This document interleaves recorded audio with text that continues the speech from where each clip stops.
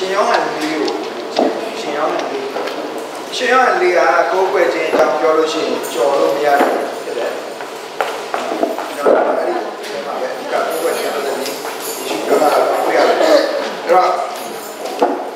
အဲ့ဒီမှာကျွန်တော်တို့ဒီဘယ်ကနေကျွန်တော်တို့ကြည့်လို့ရတယ်ဆိုတော့ဒီစနေကြည့်မယ်ဆိုရင်အာယေရှုခရစ်တော်ကအဲ့ဒီမှာရှင်ဒေနာကိုရောက်သွားတဲ့ဆိုတော့နော်ဒီတွင်နောက်ရောက်သွားတဲ့အခါမှာ ကျွန်တော်တို့သိတဲ့အတိုင်းပဲရှမာရိမျိုးသမီးကကြီးလာကတ်တယ်ဆိုတော့ရှမာရိမျိုးသမီးကကျွန်တော်ဒီဖြစ်ဖြစ်မှာကျွန်တော်တို့ပြောပြရရှမာရိမျိုးသမီးကသူများမရှိတဲ့အချိန်မှာကြီးလာကတ်တယ်လူမရှိတဲ့အချိန်မှာဘယ်သူမှမရှိတဲ့အချိန်မှာကြီးလာကတ်တယ်ဘယ်ချိန်ကြီးလာကတ်လဲဘယ်သူမှမရှိတဲ့အချိန်မှာကြီးလာကတ်တယ်ဘာကြောင့်လဲဆိုတော့သူ့ရဲ့အနေအထားကိုကြည့်တဲ့အခါမှာသူကအာလူမှုရေးအရာအသိပြီးတော့မှသူများတွေလက်ခံနိုင်တဲ့အနေအထားမရှိသူ့ရဲ့ အသက်တာကအဲ့တော့ဒီနေ့က social outcast နော်ဒီလိုသိပြီးတော့မှသူတို့မခံအဲ့ဒီပြရဲ့အမျိုးသမီးတွေဆိုတာကလည်းနည်းနည်းတချို့ကိစ္စတွေမှာလူသားတွေတဲ့ sensitive ဖြစ်တယ်နော်အကြည့်တစ်ချက်ကိုတော့မှခံနိုင်တဲ့မဟုတ်ကြဒါ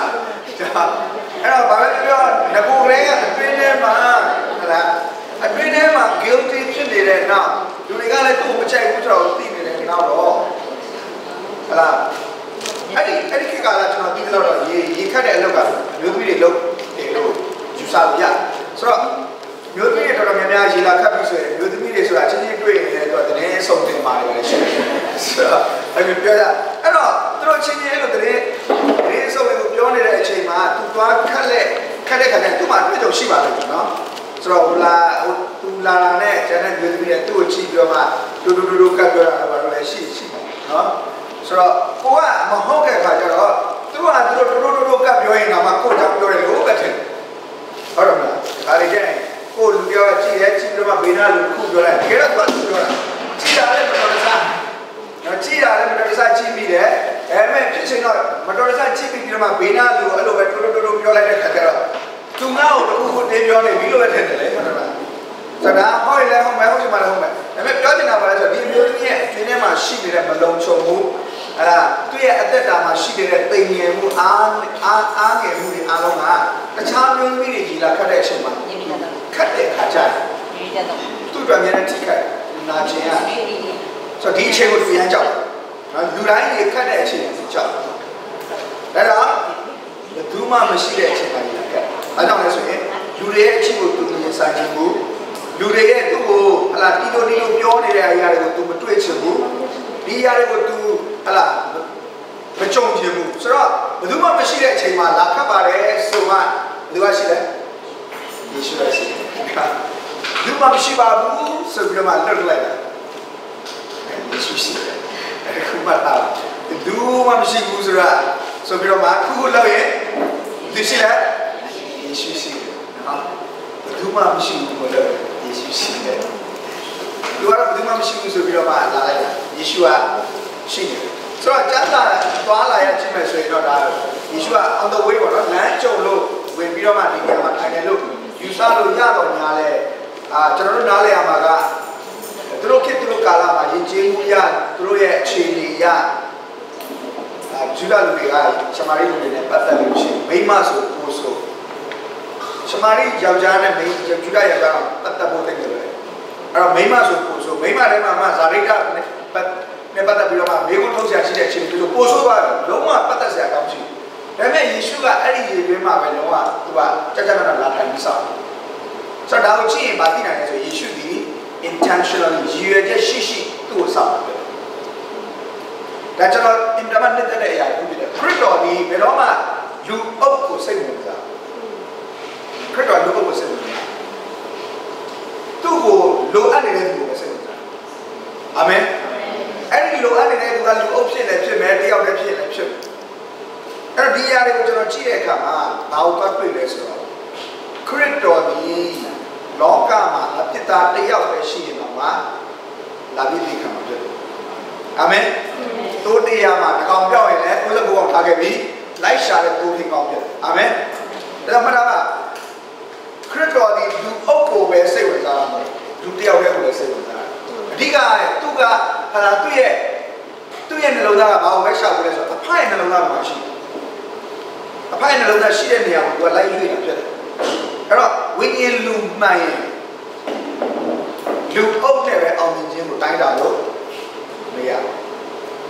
ကျွန်တော်ဒီနေ့ခေတ်မှာပြဿနာပါလဲဆိုရင်မှုတော်ဆောင်ပြရဲ့အောင်မြင်ခြင်းကိုသူ့ကိုလူဘလောက်များများကဘောကြတယ်ဆိုရင်တိုင်းလို့ရှိတယ်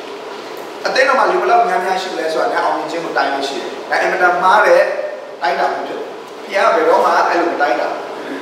ယုံကြည်သူတရားရဲ့အောင်မြင်မှုမှုတော်ဆောင်တရားရဲ့အောင်မြင်မှုသည်အဖအလိုတော်ဆောင်ခြင်းနဲ့တစ္ဆာရှိခြင်းဒီနှစ်ခုနဲ့ပဲတိုင်းရတယ်။ဘာနဲ့ပဲတိုင်းရလဲ။အဖအလိုတော်ဆောင်ခြင်းနဲ့တစ္ဆာရှိခြင်းအဲ့တော့အဖရဲ့အလိုတော်ကလူတယောက်ကိုပဲဘုရားအဖကသွားတွေ့ခိုင်းတယ်ဆိုရင်ယေရှုကလူအုပ်ကြီးကိုထားခဲ့ပြီးသွားတွေ့မှာသူတို့ကလူအုပ် ဖြစ်ခြင်းလူကြောက်တဲ့ဖြစ်ခြင်းကအဓိကမကြောက်အဖရဲ့အလိုတော်ပဲနားမှာရှိတယ်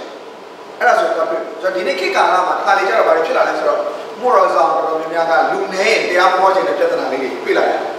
လူများရင်တော့အားရပါရတာဟောတယ်လူနေရင်တော့အဆင်ပြေတယ်လို့ပဲသွားတယ်အာမတက်တာလို့ရှောင်လို့မရလို့ဆိုတာမျိုးတွေဖြစ်လာတကယ်တမ်းတော့ခရစ်တော်ကိုယ်တိုင်ကလူအုပ်ကြီးကိုတရားဟောတဲ့သူဖြစ်ပေမဲ့လူပြောက်လဲဆိုရင်လည်း သူအဲ့ဒီသွားမှာဖြစ်တယ်အာမင်လူအုပ်ကိုပဲစိတ်ဝင်စားပြီးလူတရားကိုစိတ်ဝင်စားလို့ဆိုရင်တော့ဒါဘုရားလို့ပြောတယ်အဲ့တော့ဆောဆောတော့ပြောစမ်းနော်ဘယ်သူမှမရှိတဲ့အချိန်မှာဘယ်သူမှမရှိဘူးလို့ထင်တဲ့အချိန်မှာဘယ်သူရှိလဲအေးပတ်တာနော်ဘယ်သူမှမရှိဘူးဆိုတော့ပောက်ပြရတယ်ဘယ်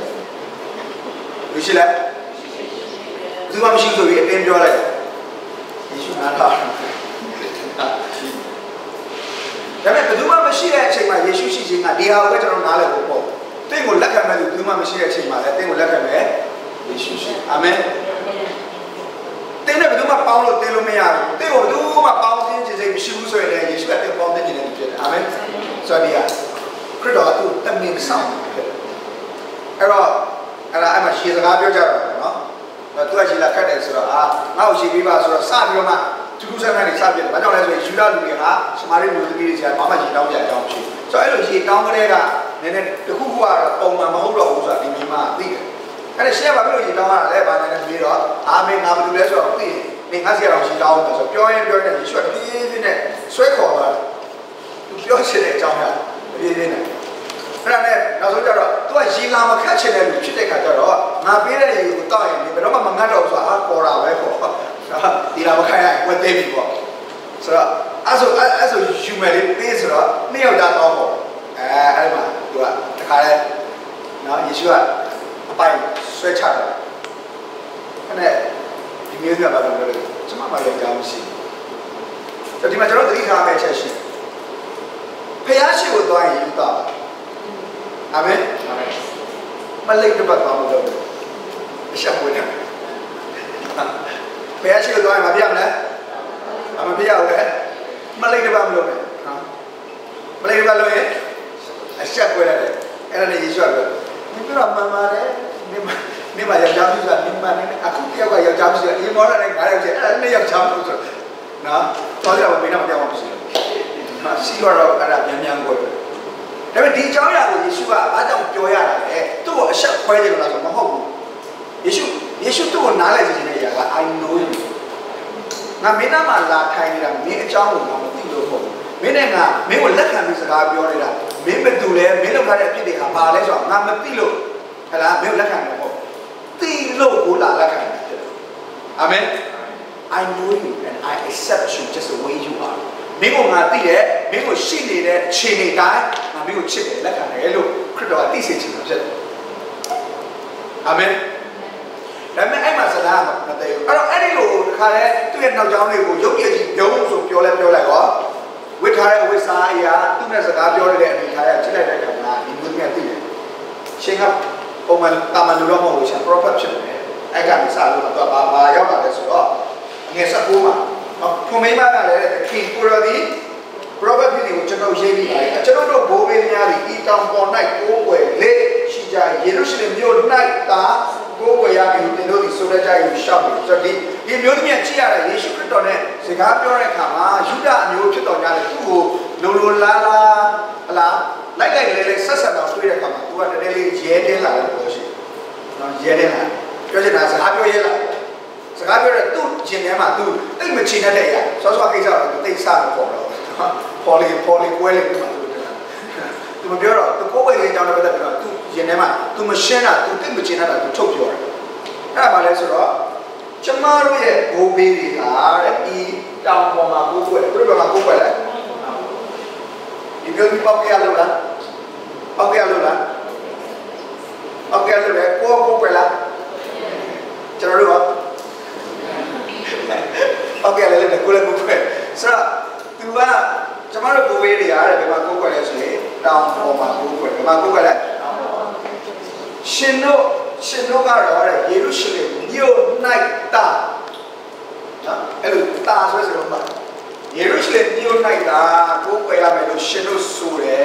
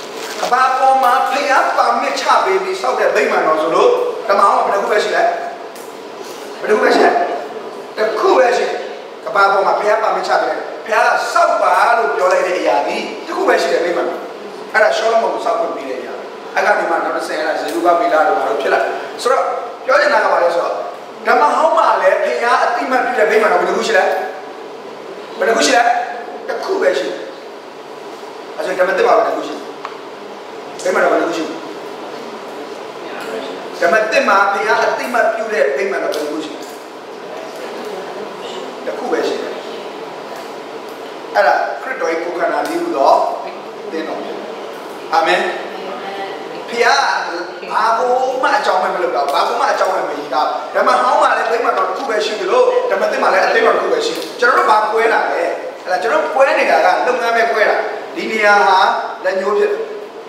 ဒီနေရာလက်တန်းဖြစ်ဒါပေမဲ့ဘယ်မှာပဲရှိလဲဆိုရင်ကိုခန္ဓာတစ်ခုမှာပဲရှိတယ်ဆိုတော့ correct ခေါ်ပေါ်လေးတွေတော့ကွာသွားတာပေါ့ဘာကွာသွားလဲဆိုရင်လုပ်ငန်းကွာသွားကြောင့် correct ခေါ်ပေါ်လေးတွေကွာသွားတယ်ဒါပေမဲ့အားလုံးကတော့ဘယ်မှာပဲရှိလဲ ကိုခန္ဓာတစ်ခုထဲမှာပဲရှိတာအဲကြောင့်ဘုရားကမြေကြီးပေါ်မှာကြည့်ရင်ဟလာကျွန်တော်တို့မှာဆောက်ဆောက်ဟဲဆောက်ဆောက်ဟဲမှာအတင်းတော်ဟလာပြီးရင်ဟလာ word of life အတင်းတော်အဲ့လိုမမြင်ဘူးဘုရားက body တစ်ခုကိုပဲမြင်ပြီးရင်အဲ့ဒီ body မှာရှိတဲ့အင်္ဂါလေးတွေဘုရားမြင်အာမင်ဆိုတော့ကဲဒါတော့ဒါပုံဆောင်ချက်နဲ့ဘုရားရဲ့ဟလာအနတ္တိတွေကိုကျွန်တော်ပြောပြဖြစ်တယ်အဲ့တော့ပြောချင်တာကဘာလဲဆိုတော့ယေရှုကယူဒလူမျိုးဖြစ်ပြီးတော့မှ သူ့ရဲ့ဘိုးဘေးတွေကဒီမိမတော်ကိုစောက်ခဲ့တာဖြစ်တဲ့အတွက်ယေရှုခရစ်တော်ဒီဒီမိမကိုညှင်းပိုင်မဲ့အပြည့်ဝရှိတယ်။ဒါပေမဲ့သူပါပြောတယ်ယေရှုကတဲ့အချင်းမိမငါဤစကားငါစကားကိုယုံတော့ဤတောင်တို့မလာမလာနဲ့ဤတောင်တို့မလာဆိုတော့အဲ့ဒီမိအဲ့ဒီစကားကဒီမိမတော့မထူးဆန်းဘာကြောင့်လဲယူဒာလူမိုင်ရဲ့တခြားနေရာမှာကိုးကွယ်တာကိုလက်ခံမလားလက်မခံဘူးလားလက်မခံဘူး တခြားနေရာမှာကိုးကွယ်တာမှန်လို့ဘာမတည်ဒီနေ့ကြည့်မမှန်ဘူးပြင်အောင်ယူရီအတိုင်းတခြားနေရာမှာကိုယ်ွယ်တဲ့သူတွေကိုသူတို့ဘုရားရှိခိုးတယ်လို့ပြောတာအဲ့ဒါအဝေးရောက်နေရင်တော့ဘယ်ဘက်လှည့်ရလဲဆိုရင်ယေရုရှလင်မှာကိုယ်လည်းလှည့်ပြီးဘုရားရှိခိုးရတယ်ဆိုတော့ဤတော်တော့မလားဆိုတဲ့စကားရှမာရိပြည်ပြန်ပြောတာဒါပေမဲ့ဒုတိယစကားမှာပြောရဲဆိုရင်ယေရုရှလင်မြို့တို့မသွားပဲဆိုတာထူးဆန်းတော့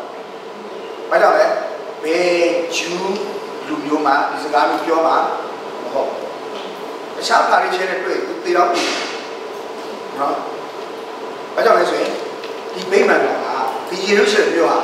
ဣသရေလတစ်မျိုးလုံးအတွက်အင်မတန်မှအထွတ်မြတ်ထားတဲ့မြတ်လို့တဲ့နေရာဖြစ်တယ်။စော်ကားမခံဘူး။ဒါပေမဲ့အခုယေရှုကပြောရဲဆိုရင်ဤတောင်လုံးမလားယေရုရှလင်မြို့လို့မသွားပဲနဲ့ဗါလဲလေခမဲတော်ကိုကိုးကွယ်ရမယ့်အချိန်ရောက်ဘာဘာဘာလို့ဆိုလို့လဲအဲကျွန်တော်တို့ဒီနေ့ ဒီနေ့ကျွန်တော်တို့တွေကအခုဒီဘက် Christian worship generation ရောက်လာတဲ့အခါမှာပြဿနာတစ်ခုတက်အဲ့ပြဿနာပါလဲဆိုရင် him ဆိုတဲ့ပြဿနာနဲ့ contemporary နဲ့ပြဿနာတက်နော်ဒီ generation contemporary ကိုသိကြတယ် Christian worship တော့ contemporary မှာအသက်တော်တစ်ချင်းအသက်တော်တစ်ချင်းဆိုတော့ခါတော့ style တွေနဲ့တစ်ကုန်တစ်ချင်းမှာတက်တာပေါ့ဝိပုံစားဖို့တက်တယ်နော်စပင်းပုံစံတွေပါတက်သွားစပင်းကာလာတွေပါလည်းတက်သွား အဲ့လိုမျိုးပေါ့နော်အကုန်တက်ကုန်တယ်အဲ့တော့ဟင်းကိုပဲကြိုက်တဲ့သူတွေကစင်မပြေတော့အာဒါဒါဘုရားဘုရားကျင်တယ်ဘုရားကိုကိုယ်ဝယ်ဆိုအဲ့လိုမျိုးစူညာပေါ်လို့ရကောင်းတဲ့ချင်အာဘုရားမချင်ဘာလို့ကိုယ်ပဲဒီတာတာမင်းမင်းနဲ့ဒီလိုလားဟောကလည်းမဟုတ်ဘူးဘုရားကိုလောလောလတ်ဟလာကောက်ကုန်ချီးမွမ်းရအဲတကယ်အတရားနဲ့ဘာလဲပြဿနာလဲတချင်း style နဲ့တချင်းဆိုတဲ့ style နဲ့ပြဿနာတက်ပြီ ငါမှန်တယ်သူမှန်တယ်ပေါ့အခရစ်တော်လားဘယ်လိုမှန်တယ်လို့ပြောနော်ဒီမှာဘယ်နေရာမှာကိုယ်ဝယ်တာမှန်တယ်လို့တရားတရားပြောတယ်အဲ့တော့ကျွန်တော်တို့အကယ်၍များ contemporary praise and worship လုပ်တဲ့သူနဲ့ဒီဘက်က hymn ကြိုက်တဲ့သူနှစ်ယောက်ကိုဘေးမှာထားပြီးခရစ်တော်ကအလယ်မှာနေမယ်ဆိုရင်ဒီဘက်ကလည်းနေကိုယ်ွယ်တာမားတယ်ဒီဘက်ကလည်းပြောမလားပြောတော့ပြောလိုက်ပြောလိုက်သူတို့တွေမားနေတာ အဲ့တော့ဒီဘက်ကလည်းယေရှုပါလက်တော်မယ်မင်းလည်းမအဲ့တော့တောင်ပေါ်မှာကိုးကွယ်တာမှန်လားဆိုတော့မမှန်ဘူးယေရုရှလင်မြို့မှာသွားကိုးကွယ်ရင်ရောမှန်လားဆိုတော့မှားတာပဲငါတောင်လို့ပြောတာအခုယေရှုခရစ်တော်ရဲ့ကာလရောက်လာတဲ့အခါမှာယေရှုနားလည်စေခြင်းနဲ့အရာရှိတယ်ဆိုတော့ကျွန်တော်တို့အဲ့ဒီအရာကိုနားလည်ဖို့အရင်ဆုံးကျွန်တော်ဗာနားလည်ရမယ်ဆိုရင်ဓမ္မဟောင်းနဲ့ဓမ္မတိရဲ့ပတ်သက်မှုဟာဘယ်လိုပတ်သက်လဲဓမ္မဟောင်းဆိုတာအရေးဖြစ်ဓမ္မဟောင်းကဘာလဲ ဓမ္မတိကဘာလဲအစစ်ဖြစ်ဓမ္မဟောင်းကဘာလဲအရေးဓမ္မတိကဘာလဲစစ်ထူးဆန်းတာကဘာလဲဆိုတော့ဓမ္မဟောင်းမှာဖြစ်ဖြစ်ခဲ့တဲ့အရာဒီထိတွေ့ကင်တွေ့မြင်တွေ့လို့ရတယ်ဥပမာဣသရေလလူမျိုးဆိုတာတကယ်ရှိခဲ့တယ်လို့ကြုံခံခဲ့ရတာလေတကယ်ပဲသူများလောက်မှကြုံခံခဲ့ရတယ်တကယ်ပဲသူတို့ဒီထွမ်းမြောက်ရာကျမ်းထဲမှာဟလာဖခင်ရဲ့ချီးစုတော်ကြောင့်အဲ့ကြုံဝါကနေလွတ်မြောက်လာတာလေတကယ်လက်တွေကိုခန္ဓာနဲ့လွတ်မြောက်တယ် ပြီးလို့ရှိရင်အေလုံးပင်လေဆိုတာလည်းတကယ်ရှိခဲ့တယ်လို့တကယ်ပဲဘုရားတကယ်ခွဲပေးခဲ့တာဖြစ်ပြီးရင်တကယ်ပဲအဲ့ဒီအေလုံးပင်လေကိုသူတို့ကဖြတ်ပြီးတော့မှတကယ်ကိုအေအေဂုတုစစ်တပ်ကအဲ့မှာတကယ်မြုပ်ခဲ့တာဖြစ်ဒါပေမဲ့အဲ့ဒါအားလုံးဒီလက်တွေ့ညင်ရတဲ့နေပယ်မှာဖြစ်တယ်ဆိုပေမဲ့အဲ့ဒါအားလုံးကဘာလဲဆိုရင်အရေးဖြစ်တယ်ရှာလေးနားတော့လက်တွေ့ကြကြထိတွေ့ကြိုင်တဲ့နေပယ်မှာဖြစ်နေတဲ့အရာအားလုံးကဘာလဲ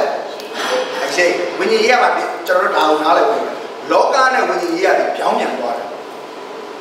လောကမှာကျတော့အရေးဆိုတာဘာလို့ဘာလို့မရလဲဆိုရင်ထိတွေ့ကြိုင်ရလို့မရအစ်စ်ဆိုတာကြမှာဘာလို့ရလဲဒါလူစစ်ဒါလို့ဒါလို့အဲ့တော့မမြင်ရမယုံပါညာပြပါလူသွားတာဒါပေမဲ့ဝိညာဉ်ရေးရမှာမြင်ရတဲ့နယ်ပယ်မှာထိတွေ့ကြိုင်တယ်လို့ရသမျှအရာအားလုံးပါလဲအရေးဖြစ်ပြီးဝိညာဉ်မှာဖြစ်တာပြီးအစစ်ဖြစ်ဒါကြောင့်သင်ဝိညာဉ်မှာမဖြစ်တဲ့အရာအားလုံးသင်ထာဝရမှာမဖြစ်ဘူးဘာကြောင့်လဲ ဝိညာဉ်ဒီထာဝရဖြစ်တဲ့အတွက်ဝိညာဉ်မှာဖြစ်တဲ့အရာတွေထာဝရမှာကျန်တယ်တယ်ပြောနော်ဝိညာဉ်ကလည်းထာဝရဖြစ်တဲ့အတွက်ဝိညာဉ်မှာဖြစ်တဲ့အရာတွေထာဝရမှာကျန်တယ်သင်ဝိညာဉ်စင်ရဲ့ခန္ဓာဘလောက်ချမ်းသာချမ်းသာထာဝရမှာတည်ပါပြီမလဲဟယ်လိုဘာဖြစ်လဲစင်ရဲ့အဲ့ဒါနားလည်ပဲဒါချမ်းသာတယ်မှာဖတ်ရင်အများကြီးနေရာအများကြီးရှိတယ်မဥပမာလော်ဒိကိုပြောတဲ့လော်ဒိကအပြင်မှာချမ်းသာတယ်ပြမှာစင်ရဲ့ဘုရားရှိမှလောကစင်ရဲ့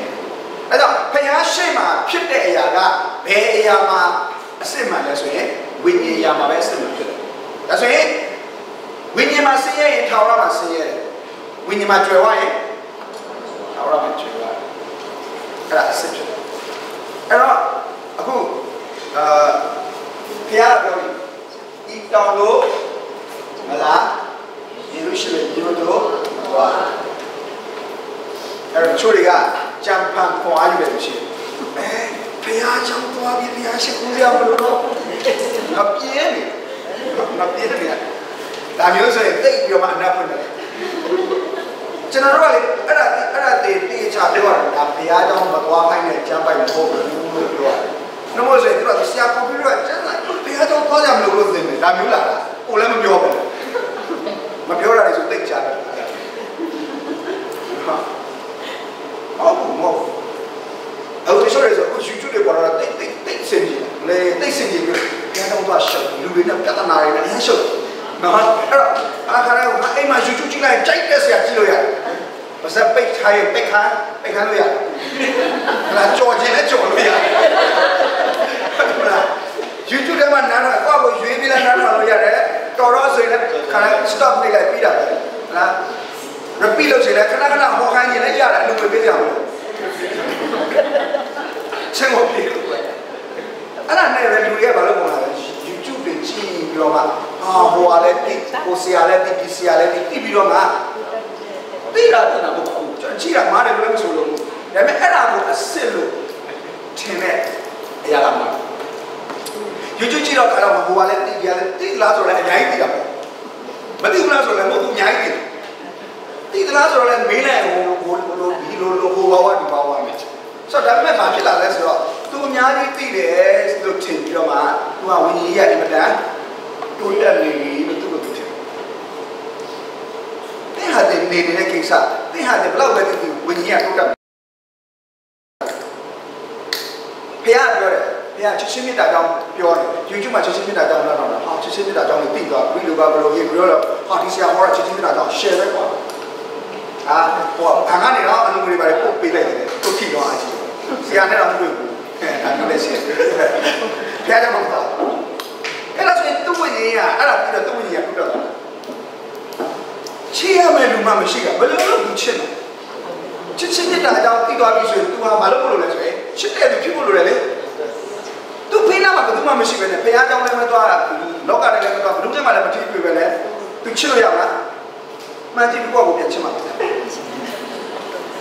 ခွင့်လို့ချင်းကြောင်ကြားတယ်အိမ်မှာထိုင်နေပြီးသူခွင့်လို့ကိုယ့်ကိုပြဿနာ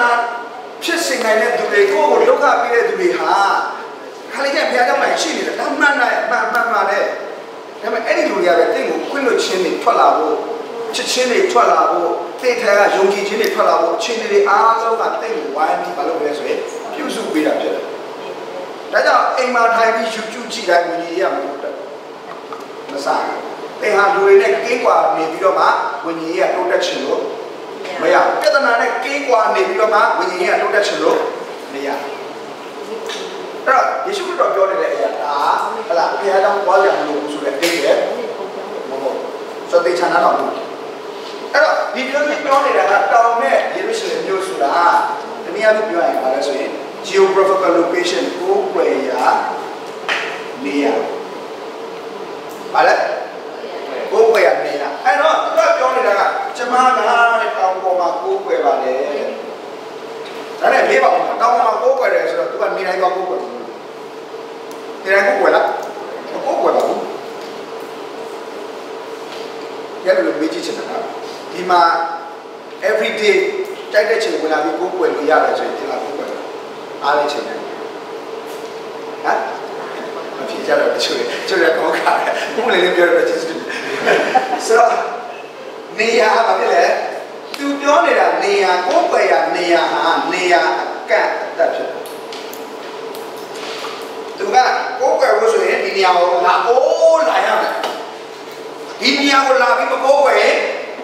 ကိုယ်ွယ်တယ်မဟုတ်ဘူးလို့သူကခံယူတာ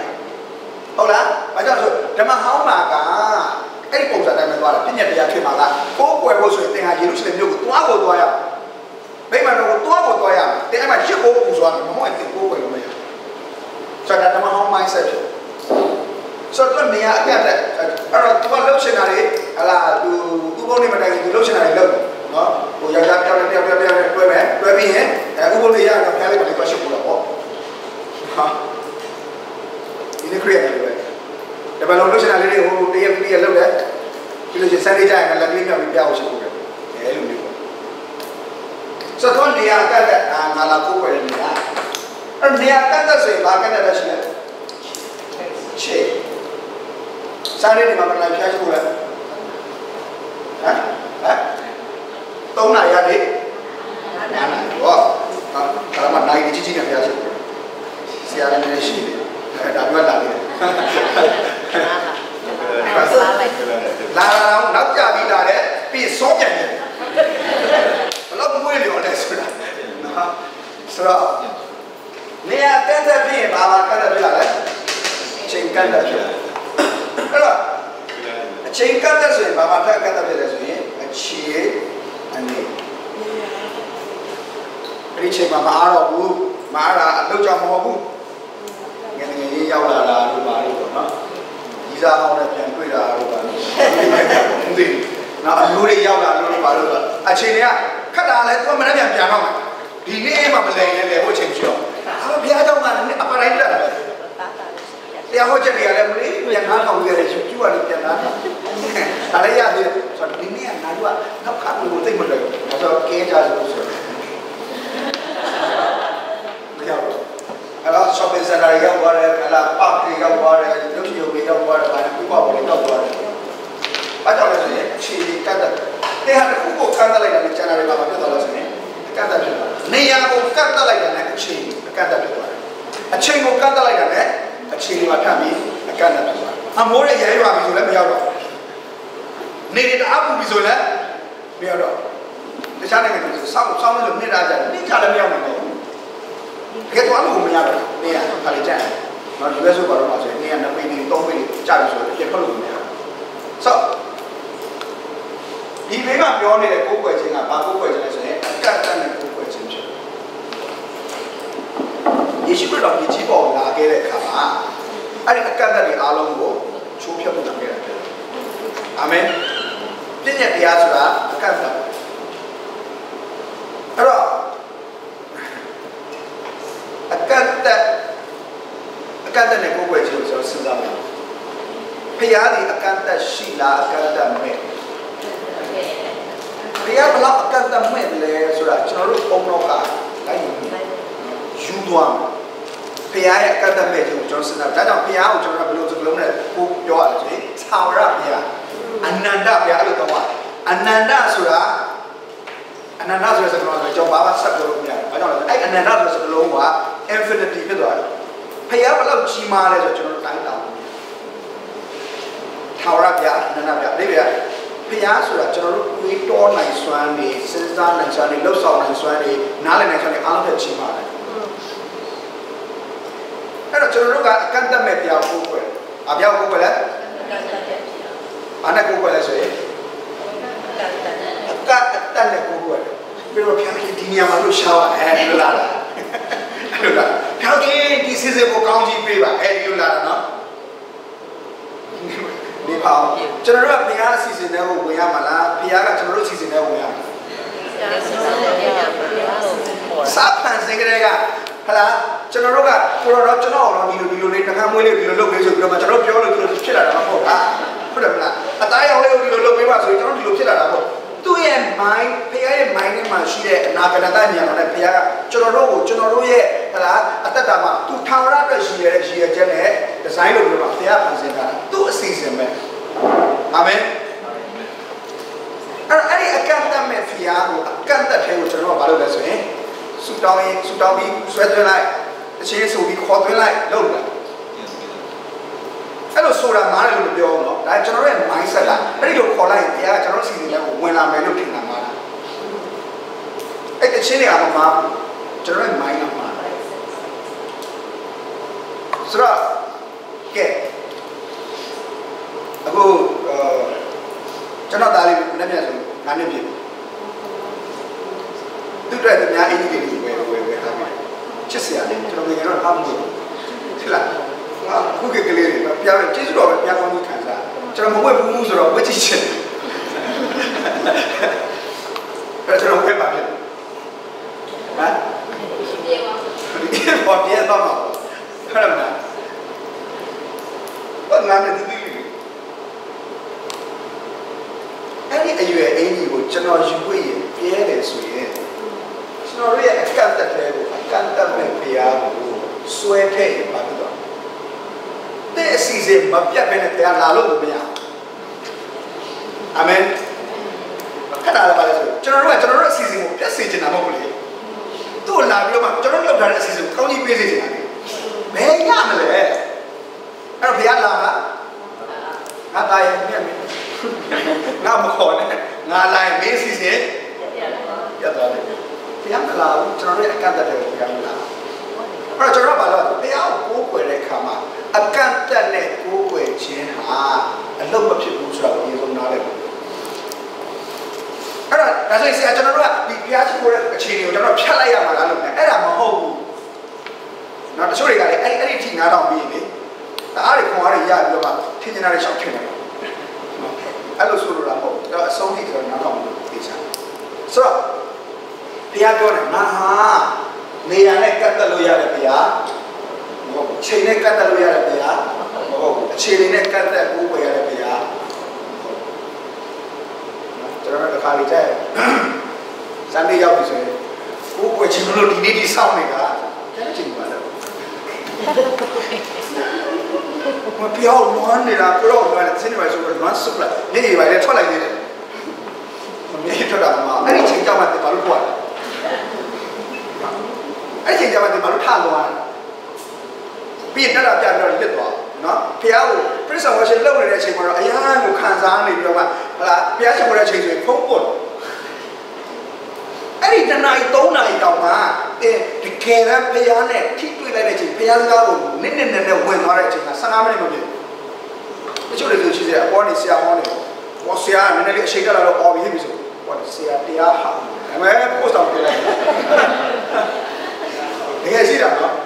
ဓာတ်ပုံကြိုက်ကြတော့ဆရာတော့တပုံချွာပြတ်လာအောက်ကနေမတိပတာတော့ပြတ်ဆွလိုက်ရတယ်ဆရာတပုံပေါ်နေတယ်ပြီးရင်ဘယ်အမှန်မှတွေ့မယ်ဘောတရားပေါ်နေတော့ဘယ်အမှန်မှတွေ့မယ်လို့ဆိုအဲ့ဒီ3နာရီ2နာရီ3နာရီပြမှာတင်တကယ်ကိုယ်ွယ်လိုက်မိတဲ့အချိန်ရှိသွားပြီခဲ့ရှိတယ်အဲ့တော့လုံးနေမှာတော့တဲ့အဲ့ဒီကကိုယ်ွယ်ခြင်းတော့ဖြစ်တော့ဘူး ကိုယ်ွယ်ခြင်းအဲ့လိုမဟုတ်ဘူးဆိုတော့ကျွန်တော်ဘာလို့ဒီထားလဲ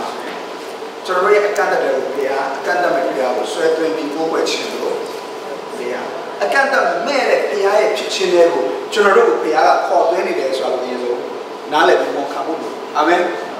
အဲ့တော့ကဲဒါဆိုရင်ဒါကဓမ္မဓမ္မတစ်ဖြစ်ဓမ္မဟောင်းကအရေးကိုကျွန်တော်ကြည့်အောင်အာခမရကျွန်တော်ကြည့်အောင်ခမရကျမ်းမှာကျွန်တော်စောစောပြောလို့ပဲခမရပြီးတဲ့သူကိုဘုရားကအပြင်ပေးလဲဆိုရင် ကိုးကွယ်ခြင်းဖြစ်ပြီဟုတ်ပြီနော်ဒါကြောင့်ခမရကျမ်းတော့မှာရှိတယ်ဝိပ္ပိယကျမ်းရှိတယ်ဘုရားကသူ့ကိုချစ်ကပ်ဖို့နိလန်းတွေပြပြောတာအဲ့တော့ဝိပ္ပိယကျမ်းမှာဘုရားကနိလန်းတွေကိုသင်ပေးတဲ့အခါမှာသူနဲ့ဟလာဣသရေလလူမျိုးကိုတာ၍တာ၍ရှင်သိစေခြင်းတဲ့အတွက်ဒီဟာကိုဘုရားကပြောတယ်ဒါပေမဲ့ဣသရေလလူမျိုးကဘုရားစကားဆိုရင်ထော်တော်ခဏအမြဲတမ်းပြောနော်ဟုတ်တယ်မလားကျွန်တော်တို့တူတာလည်းအများကြီးပဲဣသ ရေလနော်တူလို့ကိုဣသရေလလူမျိုးနဲ့ကျွန်တော်တို့ကိုဘုရားကဥပမာပေးပြီးပြောတာဒီလိုဒီလိုဒီလိုရှိတယ်ငါတို့ကိုကက္ကလာဆုံးမှာဆုံးမစရာကိုပုံသက်တည်ဖြစ်သူတို့ဟာရှိနေတာဖြစ်တယ်တဲ့ orange ကမှအဲ့လိုပြောတယ်ဆိုတော့ကျွန်တော်တို့ကျွန်တော်တို့ဣသရေလလူမျိုးသွားပြီးမျက်မှောင်းကျိုးလို့မရကိုယ်နဲ့တူတူပဲမှန်ကြည့်ရတယ်ကောင်းပါလားလေတူတူပဲပရောကရလောက်တာလေတူတူပဲတရားဖြစ်တာလေတူတူပဲဒီဘုရားစီကကောင်းကြီးလိုချင်တာလေ အဲ့ကြည့်ဝိပ္ပိယကျမ်းမှာဘုရားကဒီလိုသူနဲ့ယဉ်ပြီးဖို့သင်ပေးပေမဲ့ခေါင်းမာပြီးတော့မှဘုရားစကားကိုတရားဖြစ်ပြီးတုံ့ပြန်တယ်မှာဘာဖြစ်လဲဝိပ္ပိယကျမ်းအဲမှာဘုရားစကားပြောတာကိုလက်မခံတဲ့အတွက်ကိုယ်ွယ်ခြင်းကိုမသိယူတဲ့အတွက်ဘာဖြစ်လဲဆိုတော့ကိုယ်ွယ်ခြင်းမှာတော့ကိုယ်ွယ်ခြင်းမှာတော့ဘာဖြစ်လဲကိုယ်ွယ်ခြင်းမှာတော့တော်လေတော့ကိုယ်ွယ်ခြင်းမှာတော့ဘာဖြစ်လဲအဲကြောင့်ဝိပ္ပိယကျမ်းတော့မှာရှိတယ် တကယ်ဆိုရင်ဝိပ္ပိယကျမ်းကနေတစ်ခါတစ်ခါတည်းရောက်ကျန်တဲ့ကြမ်းရှိလာတဲ့အကြောင်းရှိဘူးအကယ်၍များဘုရားကိုမှန်မှန်ကန်ကန်ဘုရားနည်းလမ်းနဲ့ကိုးကွယ်ခြင်းမှန်ခဲ့မယ်ဆိုရင်ဣသရေလလူမျိုးက၃ကျမ်းနဲ့ပွဲသိမ်းသွားတယ်အခုတော့၃ကျမ်းနဲ့မရလားအဲကြောင့်၅ကျမ်းဖြစ်ရတဲ့အကြောင်းရင်းကနော်ဘုရားတော်ကလည်းကိုးကွယ်ခြင်းမသိယူတဲ့အတွက်ဒီနေ့ကျွန်တော်တို့ခရိယန်တွေအားလုံး၅ကျမ်းနေတယ်အဲ့တော့ ကျွန်တော်တို့ဒီ၅ကျမ်းခရိယန်များဖြစ်ကြတယ်၅ကျမ်းခရိယန်များလည်း၅ကျမ်းတော့ဘုရားပြည့်တဲ့ကျမ်း၅ကျမ်းကိုပေးဖို့ပေးရတယ်အဲ့တော့ဝိပ္ပယတဲ့နောက်မှာမလိုက်ရလဲတော်လေအကျမ်းရအဲ့တော့တကယ်တမ်းတော့ရက်ပေါင်းအနေငယ်နဲ့ဟလားခန္ဓာပြည်ကိုဝင်သွားရမယ်အစားခန္ဓာပြည်တွေ့ပြီးဆောင်ရပြီးနောက်ပိုင်းမှာဘုရားကိုတရားဖြစ်ပြီးငါတို့လှည့်ပြန်မယ်လို့ပြောတဲ့စကားကြောင့်သူတို့ဒီခန္ဓာပြည်ကိုမြင်ရက်တဲ့ပြန်လှည့်ပြီးတော့မှဘယ်နဲ့လဲသွားလဲ ဒီပေါင်းပြီးတယ်လေတော်မှလဲသွားတယောက်ပုံကနေတော့ဒီပေါင်း40လဲသွားအဲ့တော့အဲ့ဒီဒီပေါင်း40လဲနေတဲ့အချိန်ထဲမှာမျိုးဆက်20ဝက်ထွက်သွားတယ်ဘုရားပြောတယ်အသက်20အောက်နဲ့အသက်20အထက်20အထက်ကမပြမယ်တေးကြရမယ်20ထက်ကမပြမယ်20အောက်ကအမွေခံဆိုတော့အမွေခံမဲ့မျိုးဆက်နဲ့တေးကြမဲ့မျိုးဆက်ပေါ့ဒီကလူတွေကပါလေ တေးကြမှာလားအမွေခံမှာလားပြောလိုက်တော့အလုံးအမွေခံနေတာရှိတယ်စိတ်ကတော့တေးကြမဲ့မျိုးဆက်ရဲ့စိတ်ကအဲ့တော့ကဲအဲ့ဒါအရွယ်နဲ့ပြောတာမဟုတ်နော်အသက်ဆိုလို့တခါ20အောက်တွေကခွာရဆွေးရမယ်မလည်းတိုင်းရှိတယ်ရှိတော့အဲ့လို20တက်တယ်တော်လေးတာပေါ့နော်ဒါကပုံဆောင်ချက်ဖြစ်နေဆိုတော့တဲ့ရဲ့ဝိညာဉ်ရေးရာဟာ20အောက်မှာရှိတဲ့မျိုးဆက်တစ်တွေရဲ့ ကလားတစ်လုံးသားမျိုးရှိဖို့ရည်ချင်တယ်အာမင်အဲ့တော့အဲ့ဒီအမွေခံမဲ့မျိုးဆက်ကိုကြတော့ဘာပြန်လုပ်ရလဲဆိုတော့မောရှိကတတိပီယာဘာလို့လဲတတိပီယာ remind လုပ်ရတယ်မမားနဲ့မင်းတို့ဘိုးဘေးတွေမားသလိုမမားနဲ့အဲ့ဒီလိုဒုစရိုက်မျိုး မလုံးမိစေနဲ့မင်းတို့နှလုံးသားထဲမှာကိုကိုကိုအထင်ကြီးတဲ့မာနလည်းမရှိစေနဲ့ဆိုပြီးတော့မှမောရှိကဘာလို့လဲဆိုရင်တတိပီယာမင်းတို့ကအမွေခံမဲ့မျိုးဆက်ဖြစ်တယ်အမွေခံမဲ့မျိုးဆက်ဆိုတာဒီလိုတေချမ်းမဲ့မျိုးဆက်ရဲ့စိတ်နဲ့စိတ်ထားမျိုးရှိလို့မရဘူးဆိုပြီးတော့မှမောရှိကတတိပေးတဲ့ကျမ်းကိုတရားဟောရကျမ်းကိုအဲဆိုတရားဟောရဆိုတရားတွေမလုပ်ရဘူးတတိပေးတာအဲ့တော့အဲ့ဒီတရားဟောတရားဟောရကျမ်းနဲ့မောရှိက ဣသရေလလူမျိုးတွေကိုတတိပေးနေတဲ့အချိန်မှာသူတို့ကဘယ်မှာရှိလဲ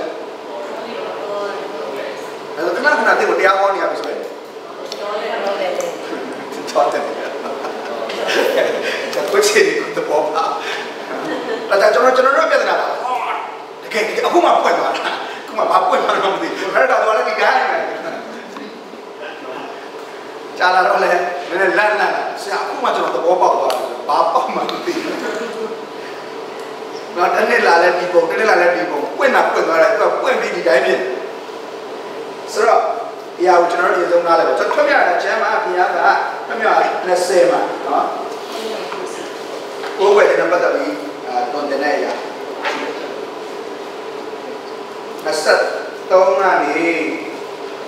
24ကျော်ခဲ့ရ23 20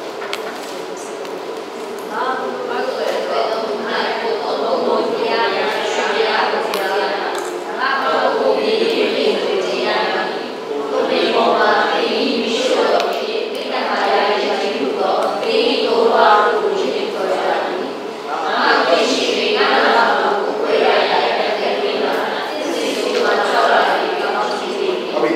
အဲ့တော့ဒီမှာကြည့် तू ကစကလုံးကိုဒီလိုစတာငါကိုကိုးကွယ်တော့အမှုနိုင်ဆိုတဲ့စကလုံးစတာအဓိပ္ပာယ်ပါလဲဆိုဘုရားကအခုချိန်ကစပြီးဣသရေလလူမျိုးကို तू ကကိုးကွယ်ခြင်းကိုတင်နေတယ်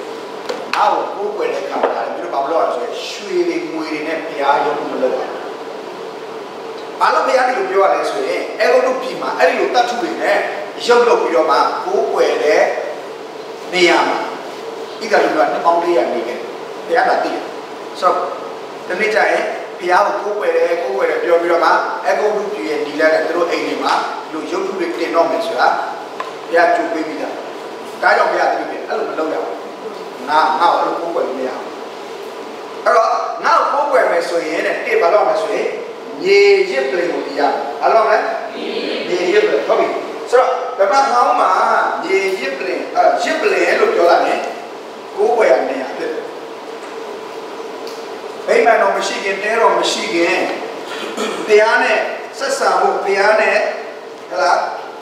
ဘုရားကချစ်ကပ်ဖို့ဘုရားကိုကိုယ်ွယ်ဖို့ဆိုရင်ဘာကအဓိကကြလဲဆိုရင်ရစ်ပလင်ကအဓိကကြတယ်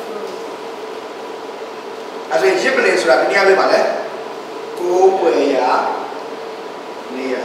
ရစ်ပလင်ဆိုတာပါလဲကိုးကွယ်ရာရစ်ပလင်ဆိုတာကိုးကွယ်အဲဆိုရင်ကိုးကွယ်ဖို့ဆိုရင်မရှိရဘူးရစ်ပလင်ရှိရကိုးကွယ်ဖို့ဆိုရင်မရှိရလဲရစ်ပလင်ရှိရအဲ့ဘယ်နေရာရောက်ရောက်ဘုရားကသူ့ကိုကိုးကွယ်ဖို့အတွက်ဘာကိုစောက်ဖို့ဘုရားကအလိုရှိလဲဆိုရင်ရစ်ပလင်စောက်ဖို့ဘုရားအလိုရှိတယ်ဒါမှတင်မှာတော့ဟလားအဲဟို အဲ့ဒီဖခင်ကကျွန်မဆက်ကြည့်လိုက်မယ်ဆိုတဲတော်ဆောက်တဲတော်ကကိုးကွယ်ရနေတာဖြစ်တယ်လို့ရှောလမုန်လက်ထက်ရောက်လာတဲ့အခါမှာဗိမာန်တော်ကိုးကွယ်ရနေတာဖြစ်လာအဲ့ဒါဓမ္မတိရောက်လာတဲ့အခါမှာလည်းကျွန်တော်ကဗိမာန်တော်ဗိမာန်တော်ဆိုပြီးတော့မှဒီဘုရားကျောင်းတွေမှာကျွန်တော်ကိုးကွယ်ရနေတာဖြစ်တတ်မှတ်ပြီးကိုးကွယ်လာကြတယ်အဲ့တော့နှစ်ပေါင်းများစွာကျွန်တော်ကကိုးကွယ်ရနေရာလို့ပြောရင်လူလက်နဲ့စောက်တဲ့အဆောက်အအုံပဲကိုးကွယ်ရနေရာဖြစ်တယ်လို့ထင်တယ်တကယ်တော့ ဓမ္မဟောင်းမှာအခြေခံကပါလဲဆိုရင်ကိုးကွယ်ရနေရာဆိုရင်ပါလဲရစ်ပလေဒါဆိုရင်ကိုးကွယ်ခြင်းဆိုတာရစ်ပူဇော်ခြင်းဖြစ်တယ်ဓမ္မဟောင်းမှာဘုရားကိုးကွယ်ဖို့ဆိုရင်မလုပ်လဲဆိုရစ်ပလေဆိုတာကိုးကွယ်ရနေရာရစ်ပူဇော်ခြင်းဆိုတာကိုးကွယ်ခြင်းအဲ့တော့ဒီမှာငါ့ကိုတဲ့အာကိုယ်ွယ်ဖို့သူကငါ့ဖို့ညီရစ်ပလင်ကိုဒီရပြီထိုပလင်ပေါ်မှာ တေးမီးရှို့တော်ရဲ့မိတ္တဟာယရစ်တီတော်တေးသုံးတော်ကိုရစ်ပူဇော်ရဆိုဒီမှာရစ်ရစ်ကိုနာမည်နဲ့ပြောတာမီးရှို့ရရင်လည်းမိတ္တဟာယအဲ့တော့ဓမ္မဟောင်းမှာဖျားကိုးကွယ်ခိုင်းတဲ့ရစ်ဖျားပူဇော်ခိုင်းတဲ့ရစ်၅မျိုးရှိတယ်ရစ်ဘယ်နှမျိုးရှိလဲဟုတ်ပြီအဲ့တော့ကျမ်းစာရဲ့အစီအစဉ်ပေါ့ကျွန်တော်နည်းနည်းနားလည်လွယ်တဲ့အစီအစဉ်နဲ့တော့ပြောပြမယ်နော်တစ်အပြစ်ဖြစ်ရရေး ဟာလဲအပြစ်ဖြစ်ရရေးအဲ့ဒီအပြစ်ဖြစ်ရရေးဆိုတာစီရင်ချင်းကလွတ်ဖို့အတွက်ခရီးပူဇော်ခိုင်းတဲ့ရစ်ဖြစ်တယ်တနေ့တစ်ခါပူဇော်ရတယ်နော်ဒါပထမဆုံးရစ်ဟာလဲဒုတိယကဒုစရိုက်ဖြစ်ရရေး transpass offering ဒုစရိုက်ဖြစ်ရရေးဒါကအပြစ်ဖြစ်ရရင်လည်းဘာကွာလိုက်လို့မေးအပြစ်ဖြစ်ရရင်ကိုပူဇော်ပြီးလို့သူကတနစ်စာစီရင်ကလွတ်သွားပေမဲ့လည်းမှားမိရင် တတိယဒုစရိုက်လုံမိရင်ပြန်ပြီးတော့မှဘုရားစီကိုအဲ့ဒီဒုစရိုက်ဖြစ်ရရင်ကိုဘာလို့လဲဆိုရင်ပူဇော်ရအဲ့ဒါကဘာကိုပုံဆောင်လဲဆိုရင်နောင်တရခြင်းကိုပုံဆောင်ဘာပုံဆောင်လဲဒါဆိုရင်ကျွန်တော်တို့ကယ်တင်ခြင်းရပြီဒုစရိုက်လို့လေလားအဲ့ဒါဟောတင်ပြောတဲ့ဒီမှာပုံနော်ဒါအလွယ်ဆုံးနော်ပြီးရင်စိတ်နှလုံးထဲမှာသူများချီနှောင်တာဖွင့်မလွတ်တာသူများပုတ်ချတာသူများထင်သေးတာဒါအားလည်းအားလုံးဖြစ် ဆိုဒါတွေကိုလုပ်ပြီးတဲ့အခါခါတိုင်းဘုရားကတင့်ကိုအဲ့ဒါတွေကိုစွန့်လွတ်နိုင်ဖို့အလုံးကနီလာတစ်ခုပြီးတာလေအဲ့ဒါပါလဲဆိုရင်နောင်တရခြင်းဖြစ်ဘုရားရှိမှအဲ့ဒါကိုရိုးရိုးသားသားဒီရာဖြစ်နေကြောင်းကိုပေါ်ပြပြီးနောင်တနဲ့တောင်းပန်ခြင်းဟာဘုရားစီကခွင့်လွတ်ခြင်းအဖြစ်တည့်ရဲ့နှလုံးသားထဲမှာအဲ့ဒီဒုစရိုက်ကိုရှောင်နိုင်တဲ့အင်အားကိုဖြစ်စေ။ဒီမှာကဘုရားအားမပါဘဲတဲ့ဒုစရိုက်ကိုဘယ်မှမရှောင်နိုင်ဘူး။ အဲ့ဒီဒုစရိုက်ကိုရှောင်နိုင်ဖို့ဘုရားအားကိုခံစားရဖို့လည်းတရားနေထိုင်မခံစားရနိုင်ဘူး။ဘုရားနဲ့အဲ့ဒါကိုဒီမလုပ်မချဲတဲ့အဲ့ဒီဒုစရိုက်ကိုတင်ရှောင်ဖို့မဖြစ်နိုင်ဘူး။အဲ့ဒါနောင်တဆိုတာပါလေ။နောင်တဆိုတာဘုရားခင်ဒီဟာကိုကျွန်တော်လုပ်နေပြဿနာကကျွန်တော်မလုပ်ဖဲမနေနိုင်ကိုကိုကိုထိတ်ချုပ်ထားပေမဲ့လည်းလုပ်မိတယ်ကျွန်တော်မှအဲ့ဒီကောင်စွန့်လွတ်နိုင်တဲ့အင်အား မရှိဘူးကိုတော့ကယ်ပါလို့ဘုရားရှိမှတားပြီးတော့မှပုပ်ပုလေးလေးဘုရားရှိမှ surrender လုပ်ချင်တယ်အာမင်လုပ်ပါလုံးဝတော့ surrender လုပ်ရင်တေချာတော့တရားအဲ့ရနေတော့ဘာကြောင့်လဲဘုရားဘုရားကအဲ့ဒီဟာကိုရှောင်နိုင်တဲ့အင်အားကိုကျေးဇူးတော်နဲ့တင်မှာစားတယ်ဆိုတော့ ယေရှုခရစ်တော်အဖြစ်အပြစ်ဖြေရရေးကိုပူဇော်ပေးတဲ့ဖခင်ရဲ့ကျေးဇူးတော်ကြောင့်သင်ဒီစီရင်ခြင်းကနေအမြဲအမြဲတမ်းမဖြစ်ပါလဲလွတ်သွားတယ်ဟေဘဲတော်ပြောတယ်ကတ်ကာလအစကနေအဆုံးထိယေရှုခရစ်တော်ရဲ့အသွေးတော်ကလွတ်တော့အာမင်ဘယ်ကလွတ်ဖို့လဲဆိုရင်ထာဝရစီရင်ခြင်းကလွတ်ဖို့သင်လုံတော့သို့တော့အဲ့ဒီစီရင်ခြင်းကလွတ်တဲ့လူကဒုစရိုက်ပြုမိတဲ့အခါမှာဘုရားဒီတိုင်းမနေခိုင်းဘူးမြင်မြင်ကဲမင်းခါကြဘရောစားလုပ်မိတယ်နေလိုက်ပါလို့ဘုရားမပြောပေါ်ပြ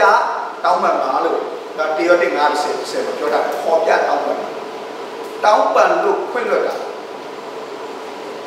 လိုတောင်းပန်မှခွင့်လွှတ်ဒါပေမဲ့တောင်းပန်ခိုင်းတယ်ကျွန်တော်နားလည်းမလွဲစေချင်ဖခင်ကတင်တောင်းပန်မှခွင့်လို့မတောင်းပန်ခင်ကခွင့်လို့ပြီးတာဒါပေမဲ့တောင်းပန်ခြင်းအဖြစ်တင်လို့ပါဖြစ်ဖခင်ကတင်မတောင်းပန်ခြင်းဒီကလေးကဘာဖြစ်လဲတင်ကိုခွင့်လို့တယ် ပြောပြီးသားမောရှေနဲ့ဘုရားနဲ့တွေ့တဲ့အခါမှာလားဖခင်ကလည်းမောရှေကဖျားဘုံကိုတွေ့ချင်တယ်လို့ပြောရတယ်။အဲ့ကျမ်းပိုက်ကိုဖခင်33ဒီချပတ်ကြည့်။နောက်မှပြတယ်။အဲ့တော့ဖျားကဘာလို့လဲငါငါဘုံကိုမြင်မြင်တည်လိုက်တယ်ဆိုတော့မရမောရှေကတွေ့ချင်တွေ့ချင်တယ်ဆိုတော့အာဖျားโอเคဒါဆိုရင်သူ့ကိုဘာလို့လဲကြောက်ကြပါ ထားပြီးတော့မှဘုရားလက်နဲ့ကာပြီးတော့သူရှေ့ရတယ်ဘုရားဘုံကိုရှောက်သွားစေတဲ့ကောင်ဘုရားကရွတ်သူ့ရဲ့နာမတော်ကိုရွတ်နော်ကျမ်းပိုက်ကြည့်အဲ့ဒီမှာဘာပါလဲဆိုတော့ပြင်းမာသောအပြစ်တို့ကိုခွင့်လွတ်တော်လဲအဲ့ဒါလေဒီမှာတော့မငင်ရနော်ပြင်းမာသောအပြစ်တို့ကိုခွင့်လွတ်တော်လဲအချင်းကြီးခွင့်လွတ်တော်မူထားအဲ့လိုရှိတယ်ဒိဋ္ဌိပါလို့ ဘုရားခွင့်လွတ်ပြီးတာဒါပေမဲ့အဲ့ဒီခွင့်လွတ်ခြင်းကိုဒီအတိုင်းခံစားဖို့ခွင့်လွတ်ပြီးတာဘာကြောင့်လဲဒီတိုင်းဘာမှမပြောဘဲနဲ့ဘာမှမလုပ်ဘဲနဲ့ဘာမှလည်းဘုရားသတိမပေးဘဲနဲ့ဒီတိုင်းခွင့်လွတ်လိုက်ရင်ဒီလူဟာအပြစ်ကိုထပ်ခါထပ်ခါတလဲလဲလုပ်လို့ဘုရားနဲ့တာရုပ်ဝေးသွားတော့ဖြစ်တယ်ဒါကြောင့်ဘုရားကအဲ့ဒီအပြစ်နဲ့ပတ်သက်တဲ့ consequences ကိုပြထားတာအဲ့ဒါခွင့်မလွတ်လို့မဟုတ်ဘူးတင့်ကိုသူ့စီကိုပြန်ရောက်လာဖို့ဘုရားလုပ်တာလို့အာမင် ဒါကြောင့်တောင်းပန်ပါလို့ဘုရားပြောတဲ့အခါမှာမင်းမတောင်းပန်တော့ငါကမင်းပြစ်ကိုချီထားမယ်မင်းကငါခွင့်မလို့ဘူးလို့ပြောနေတာမဟုတ်ဘူးအဲ့ဒီတောင်းပန်ခြင်းကဘုရားရဲ့ခွင့်လွတ်ခြင်းကိုသင်ကခံစားရတယ်ဘုရားကအဲ့ဒီကြမှာခွင့်လွတ်လိုက်တာမဟုတ်ဒါပေမဲ့သင်မတောင်းပန်ခြင်းတော့အဲ့ဒီဘုရားစကားခွင့်လွတ်ခြင်းကသင်စီတဲ့ကိုစီးစင်းဝင်ရလာတော့သင်ခံစားရမှာဟုတ်ဒါဆိုရင်သင်လွတ်မှာလေဟုတ်ဒါကြောင့်ဟိုဓမ္မဟောင်းကာလမှာလည်းဘုရားဘူးစိတ်ဖြေရရစ်ဆွဲရဘုရားတရားကို ဓမ္မတိကာလမှာလည်းကဲတည်းရပြီးတော့သူစိတ်ပြုတ်မိတဲ့အခါမှာဆွတ်လွတ်ခြင်းနဲ့စိတ်နဲ့ဘုရားရှိခိုးမှာမလုပ်လို့လေဟောပြတောင်းပန်လာရအောင်အာမင်အာမင်အာမင်တဲ့ဆက်လုပ်ခြင်းနဲ့ဆိုရင်လည်းတဘောပဲဆွတ်လွတ်ခြင်းနဲ့ဆိုရင်တော့ဘုရားရှိခိုးမှာဟောပြတောင်းပန်ဒါပေမဲ့ငါတောင်းပန်မှာဘုရားခွင့်လို့မယ်ဆိုရဲ့အမြင်ပေါ့ဘာနဲ့တူလဲဆိုတော့အခုဒီမှာမီးကလို့ရှိမီးကလို့ပြလိုက်ဘာဖြစ်သွားလဲမီး ပိတ်သွားတယ်လက်စစ်ဌာနကပိတ်လိုက်တော့ဟုတ်လက်စစ်ဌာနကအများနဲ့မိပေးတာနော်ဒီနိုင်ငံမှာတော့ဒါမိပြတ်ရင်တော့အင်မတန်ထူးဆန်းတဲ့ကိစ္စ phenomenal ကိုယ်ကကျွန်တော်တော်တော်ကြာပြီ lucky plaza မှာလည်းမသိဘူးဟိုစားစပူစားမိတ်ဆွေမိခဏလေးပြတ်သွားတမိနစ်တော့မကြာဘူးဟာဆူညံပေါ်လို့ရက်သွားဟာအုံးတိုက်တယ်မြန်မာပြည်ညပူလိုက်ရှင် အဲ့ဒါမျိုးသားအော်ရရေးဆိုတော့ဒီလိုတွေမြန်မာပြည်မှာအော်လို့ရုံနဲ့သိသွားလိမ့်မယ်။ဘာကြောင့်လဲမိမမပြတ်တာ။ငါမိမမပြတ်တာ။အဲ့တော့ပြောချင်တာကလည်းဆိုတော့အခုလက်စစ်ဌာနကမိဟာ voltage အပြည့်နဲ့လာနေတယ်။အဲ့ဒီလို voltage အပြည့်နဲ့လာနေတယ်ဆိုပေမဲ့အဲ့ဒါကဒီထဲမှာ automatic မီးလင်းမယ်လို့မဆိုလို့ဒီအဆောက်အုံထဲမှာမီးလင်းလာလို့ဆိုရင်ဒီအဆောက်အုံမှာ main switch ရှိတယ် main switch ကိုဘာလုပ်ရလဲ ဖွင့်ပေးလိုက်အဲ့ဒါမှအဲ့ဒီလက်စိတ်ကဒီထဲကိုစီးဝင်လာဒါတော့မှအခန်းလိုက်လင်းမလားမလင်းဘူးခလုတ်ပိတ်ထားတဲ့အခန်းနဲ့ပုံမှန်ပါပဲအဓိပ္ပာယ်ပါလေဒီလက်စစ်စွာအားစီးဆင်းလာလို့ဆိုတာကဟိုးအဝေးကလက်စစ်ပို့လို့တဲ့အရင်မြင့်နဲ့မဆိုင်တော့ပဲနဲ့ဒီကနေလက်ခံတဲ့အဆောက်အုံနဲ့ဆိုင်သွားတယ်ဒါကြောင့်ဖျားဘက်ကခွင့်လို့ခြင်းကဘလောက်ပဲစီးနေပါစေတဲ့မှာပိတ်ဆို့တားဆီးပိုင်မရှိလားရှိတယ်ရှိတယ်ကျွန်တော်တို့ဖလို့ပိတ်ထားကြမီတာတက်မှာ အဲ့တော့ပန်းသားတွေရှိတယ်မလဲဘူးအဲကွန်တွေရှိတယ်စင်ကာပူအင်္ဂလန်နဲ့အဲကွန်ရှိတယ်မဖွင့်ဘူး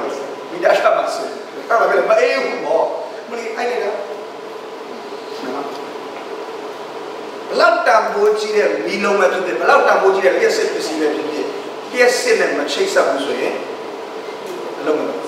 အဲ့ဒါဖြစ်တယ်ကလည်းကားတယ်အဲ့တော့ဘုရားဘက်ကခွင့်လို့လားခွင့်လို့လား ဒါပေမဲ့အဲ့ဒီခွင့်လို့ခြင်းကတစ်ထဲမှာလွတ်ချင်းဖြစ်ပြောင်းသွားဖို့ဆိုတာကကြတော့တင်ကဘုရားရှေ့မှာသွားပြီးတော့မှပေါ်ပြခြင်းဆိုတဲ့ခလုတ်ကိုမလုပ်ရလဲခွင့်ပလိုက်အဲ့ဒါဆိုရင်အဲ့ဒါတဲ့စီစဉ်အဲ့ဒုစရိုက်ဖြစ်ရရေးရဲ့ဘောတရားအဲ့တော့ဒီတစ်ခုကအပြစ်ဒုစရိုက်တဲ့ဆန်တဲ့ရဖြစ်တယ်နောက်ဆက်လာတဲ့အရာကဘာလဲဆိုရင်တတိယတစ်ခုကမိရှုရရေးဟာလားဒီပြီးရင်သောတာပြောမိတ္တဟာယရစ်ပြီးရင်ဘောဇင်ကိုတက်က အဲ့တော့အဲ့ဒီသုံးခုကကြတော့ဗာနဲ့ဆိုင်လဲဆိုရင်အပြစ်ဒုစရိုက်နဲ့မဆိုင်တော့ဘဲနဲ့ဖျားနဲ့ဆက်ဆံရေးနဲ့ဆိုင်ဖျားနဲ့ယဉ်ကျေးကျွမ်းမှုနဲ့ဆိုင်ဆိုတော့ဒီရစ်တွေကိုပူဇော်တဲ့အခါမှာအဲ့ဒီရစ်တွေဟာဖျားကျင့်တတ်ဖို့ဖျားပါပြီဖို့ဖျားကျင့်တတ်ဖို့နောက်တစ်ခုဖျားရှိမှမွေးကြိုင်တော်ရနာရှိဖို့နောက်တစ်ခုပါလဲ နောက်တစ်ခုဖျားနဲ့အာ၍ရင်းနှီးကျွမ်းမှုအနည်းဆုံးအဲ့သုံးခုဖျားကျင့်တတ်ဖို့ဖျားရှိမှမွေးကြိုင်တော်ရနာရှိဖို့ပြီးရင်ဖျားနဲ့ရင်းနှီးကျွမ်းမှုအဲ့ဒီအားလုံးကကိုးကွယ်ခြင်းရဲ့ဝိသေသတွေဖြစ်တယ်ကိုးကွယ်ခြင်းရှိတဲ့သူတွေဒီတွေ့ရတဲ့မှာဘာရှိလဲဆိုရင်ဘုရားခြင်းနဲ့အသက်ရှင်နေရှိတယ်ဟုတ်ပြီနော်ကိုယ်ပဲကျန်တတ်တာရှိတဲ့သူကသူ့ရဲ့တတ်တာမှာမရှိလဲဘုရားကျင်တဲ့အသက်ရှင်နေရှိတယ် ဒုတိယတစ်ချက်သူ့ရဲ့အသက်တာတွေကနေဘုရားထံကိုမွေးကြိုင်တဲ့ယဉ်နဲ့တက်တယ်နောက်တစ်ခုကသူနဲ့ဘုရားနဲ့ကကြာလေပါလိမ့်လေလဲဆိုရင်ပိုရိပ်ရင်းနှီးလေလေနှလုံးသားချင်းချင်းနားလေလေနှလုံးသားတစ်ထက်ထဲကြာလာတယ်ဖြစ်လာကြာလေတစ်ထက်ထဲကြာလေဆိုတော့ဒီကိုယ်ွယ်ခြင်းဒါဒီသုံးမျိုးဆိုတော့အဖြစ်ဖြစ်ရရေးတဲ့ဒီချက်ဖြစ်ရေးကကိုယ်ွယ်ခြင်းမဟုတ်ဘူးအခုဒီသုံးမျိုးဆိုတော့ဒီမှာရေးထားရတာကရေရစ်ပလင်ကိုတီခိုင်းတာကအပြစ်ဖြစ်ရရေးတဲ့ဒုစရိုက်ဖြစ်ရေးကိုပူဇော်ဖို့လား ဟုတ်လားရေရစ်ပလင်ကိုတီခိုင်းတယ်ဆိုတာအပြစ်ဖြစ်ရရေးတဲ့ဒုစရိုက်ဖြစ်ရေးကိုပူဇော်ဖို့လားမဟုတ်ဘူးအခုပြောနေတာကဘာအကြောင်းလဲကိုယ်ွယ်ခြင်းကိုယ်ွယ်ခြင်းရေရစ်ပလင်ဆိုတာဘာအတွက်လဲကိုယ်ွယ်ခြင်းအတွက်အပြစ်ဖြေဖို့အတွက်မဟုတ်အပြစ်ဖြေခြင်းရဲ့နေရာကမှာလုပ်လို့မရအပြစ်ဖြေဖို့ဆိုရင်နေရာတတ်တတ်ရှိတဲတော်ထဲမှာချင်းဝါရစ်ပလင်မှာပဲအပြစ်ဖြေလို့ရတယ် အပြစ်ဖြေဖို့ကနေရာကမှာလုပ်လို့မရဘူးဒါကြောင့်ယေရှုခရစ်တော်ကနေရာကမှာတည်လို့မရဘူးကားရိုက်မှာတက်တည်ရတယ်၎င်းနေရာပြည့်တတ်ရှိအဲ့တော့ဒီမှာဘာပြောဆိုရင်ရေရစ်ပလင်ကိုတရားပြီးရစ်ပလင်မှာတင်းမီးရှို့တော်ရဲ့မိသားရရည်တည်တော်တင်းသုံးတော်ကိုရစ်ဘူးဆိုတာအဲ့တော့ဒီရစ်ပလင်ပေါ်မှာပူဇော်တဲ့ရစ်ဆိုတာဘာအတွက်လဲကိုယ်ွယ်ဖို့အတွက် ဘာအတွက်လဲဘာအတွက်မဟုတ်ဘူးလဲအပြည့်ဖြေဖို့အတွက်မဟုတ်ဘူးသူစရိုက်ဖြေဖို့အတွက်မဟုတ်ဘူးအဲ့ဒါဗျာ Okay သူတို့ပြီးတော့မှဆက်ကြရဆိုရင်ငါအခွင့်ရှိရငါနာမကိုကိုးကွယ်ရဖယားအခွင့်ရှိပြီးတော့မှဖယားနာမကိုကိုးကွယ်ရဘာကိုကိုးကွယ်ရဖယားနာမကိုကိုးကွယ်ရအယက်ခတ်သိအယက်ခတ်သိဆိုတာ ဘယ်နေရာမဆိုငါလာမယ်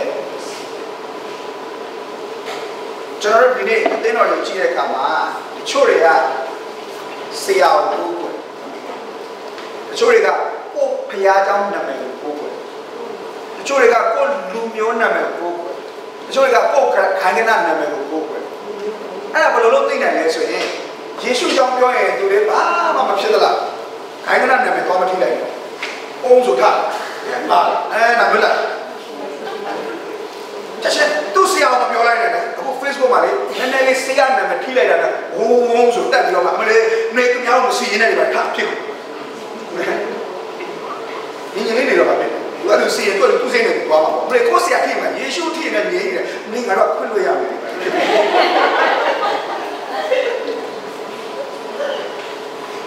ဒါဝိကသူ့ထိတာခံနိုင်တယ်နော်ဘုရားထိမခံဘူးဘုရားထိတော့ရှောလူသူ့ကိုလှုပ်လာလဲခံနိုင်တယ်တတ်တာမရှိဘူးဒါပေမဲ့ခေါ်လျက်ဘုရားနာမကိုချိန်ဆဲတာဘုလုံးအပြောနေတာပါလဲဆိုတော့ကျွန်တော်တို့ဘာကိုကိုးကွယ်ပြန်စစ်စစ်ဖို့ကိုဆရာကိုလုံးဝအထိမခံနိုင်ဘူးဆိုရင်ဖះနဲ့ပတ်သက်ရင်တော့တိတ် serious မရှိဘူးဆရာကိုဖြစ်တော့မခံဘူးဆိုရင်အဲပေးချတယ် ဖះနဲ့ပတ်သက်တိတ် serious မရှိဘူးငါဖះကြောင့်လာမဖြစ်နဲ့အဲအဲ့ဒါလည်းဖះတော့ကိုးကွယ်နော်ကျွန်တော်ဘာလို့ပြောရလဲကျွန်တော်ကိုယ်တိုင်ဖြစ်ခဲ့တယ်ပြောတာသူများအောင်လာပြီးတော့မှဒါကြီးလာဆူနေတာမဟုတ်ကျွန်တော်ကိုယ်တိုင်ကိုအဲ့လိုဖြစ်ခဲ့တာကိုယ်ကလည်းလာမလို့ထပေါ်တာတဲ့လုံးဝမရဟောတလာမင်းကိုကိုကိုလည်းအဲ့ဒါအဟုတ်ကြီးဆက်နောက်ဆုံးတော့အင်မတန်အဆက်စရာကောင်းတဲ့ကိစ္စဖြစ်တယ်တချို့တွေဆိုဟလာဘုရားကျောင်းမှာဘာလို့လို့ကျမ်းစာသင်တာဘယ်လိုလို့စိတ်ဝင်စားလူမျိုးရေးဆိုရင်တော့လာတာ အလူငွေပါတယ်ဘုံတို့ပြစ်ထက်လိုက်နော်ဘုရားကျောင်းမှာစံသာတင်တဲ့နှုတ်ခွက်တော်နဲ့ညီတာတွေမညီတာတွေတို့လုံးဝစိတ်မကောက်လူမျိုးရေးလောက်ရင်တော့မှလူမျိုးရေးလောက်ပြီဆိုရင်အဲ့ရင်ချင်းမှုနဲ့လုံးဝနည်းနည်းလေးမကိုက်ဘူးဆိုတော့ထားပြီးပွားရှာအခုကွက်နေလဲလူမျိုးနာမည်ကိုကွက်နေလူမျိုးချစ်တာကောင်းတယ်ဘုရားလည်းလူရှိလူမျိုးဆွဲတာကောင်းလူမျိုးဆွဲရဆိုတဲ့အဓိပ္ပာယ်ပါတယ်လူမျိုးဆွဲရဆိုတဲ့အဓိပ္ပာယ်ပါလဲဆိုရင် ငါငါဟာချားလူငါတို့လူမျိုးကချားလူမျိုးတက်တာငါချားလူမျိုးတက်ငါတို့လူမျိုးကပုံမြင့်နေဆိုတာလူမျိုးဆွဲခြင်းလည်းအဲ့တော့ခရစ်တော်ကရှိတဲ့သူကအဲ့ဒီအမြင်မျိုးမရှိအားလုံးခရစ်တော်ကဘုရားလည်းလုပ်တယ်မြင်တယ်အာမင်ဆိုတော့ဒီဒီမှာတရားပြောတယ်ငါနာမကိုကိုးကွယ်ရင်အဲ့ဒီနေရာကို သင်ဘုရားမျက်မှောက်တော်ကိုခံစားဖို့ဆိုတာဘုရားကြောင့်ကိုမရောက်ခင်ကတည်းကသင်ခံစားခွင့်ရှိတယ်ဘုရားကြောင့်ရောက်မှခံစားခွင့်ရှိရမှာဘုရားကြောင့်မရောက်ခင်ကတည်းကခံစားခွင့်ရှိတယ်အလုံးမှလည်းခံစားခွင့်ရှိတာဟိုနေ့ကကျွန်တော်ဆဲမှာကျွန်တော်ပြောသေးတယ်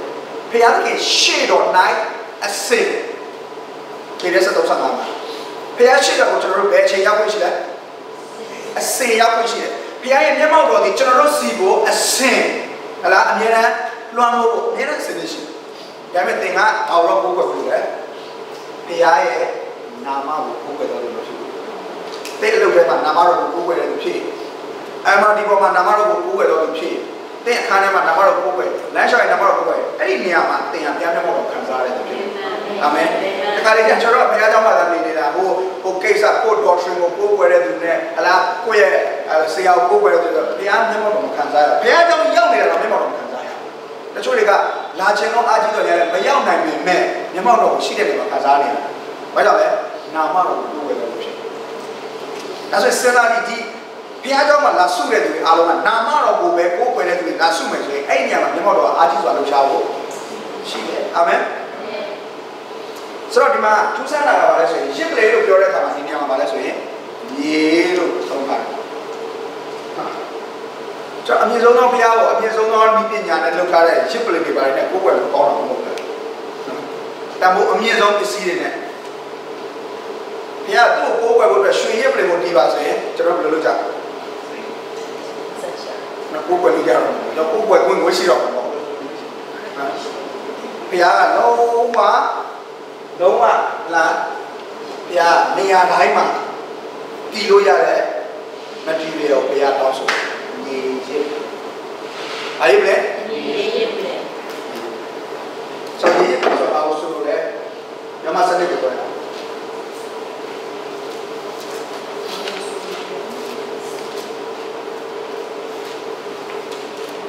တိကိုဖတ်ကြအောင်ညီကိုတော့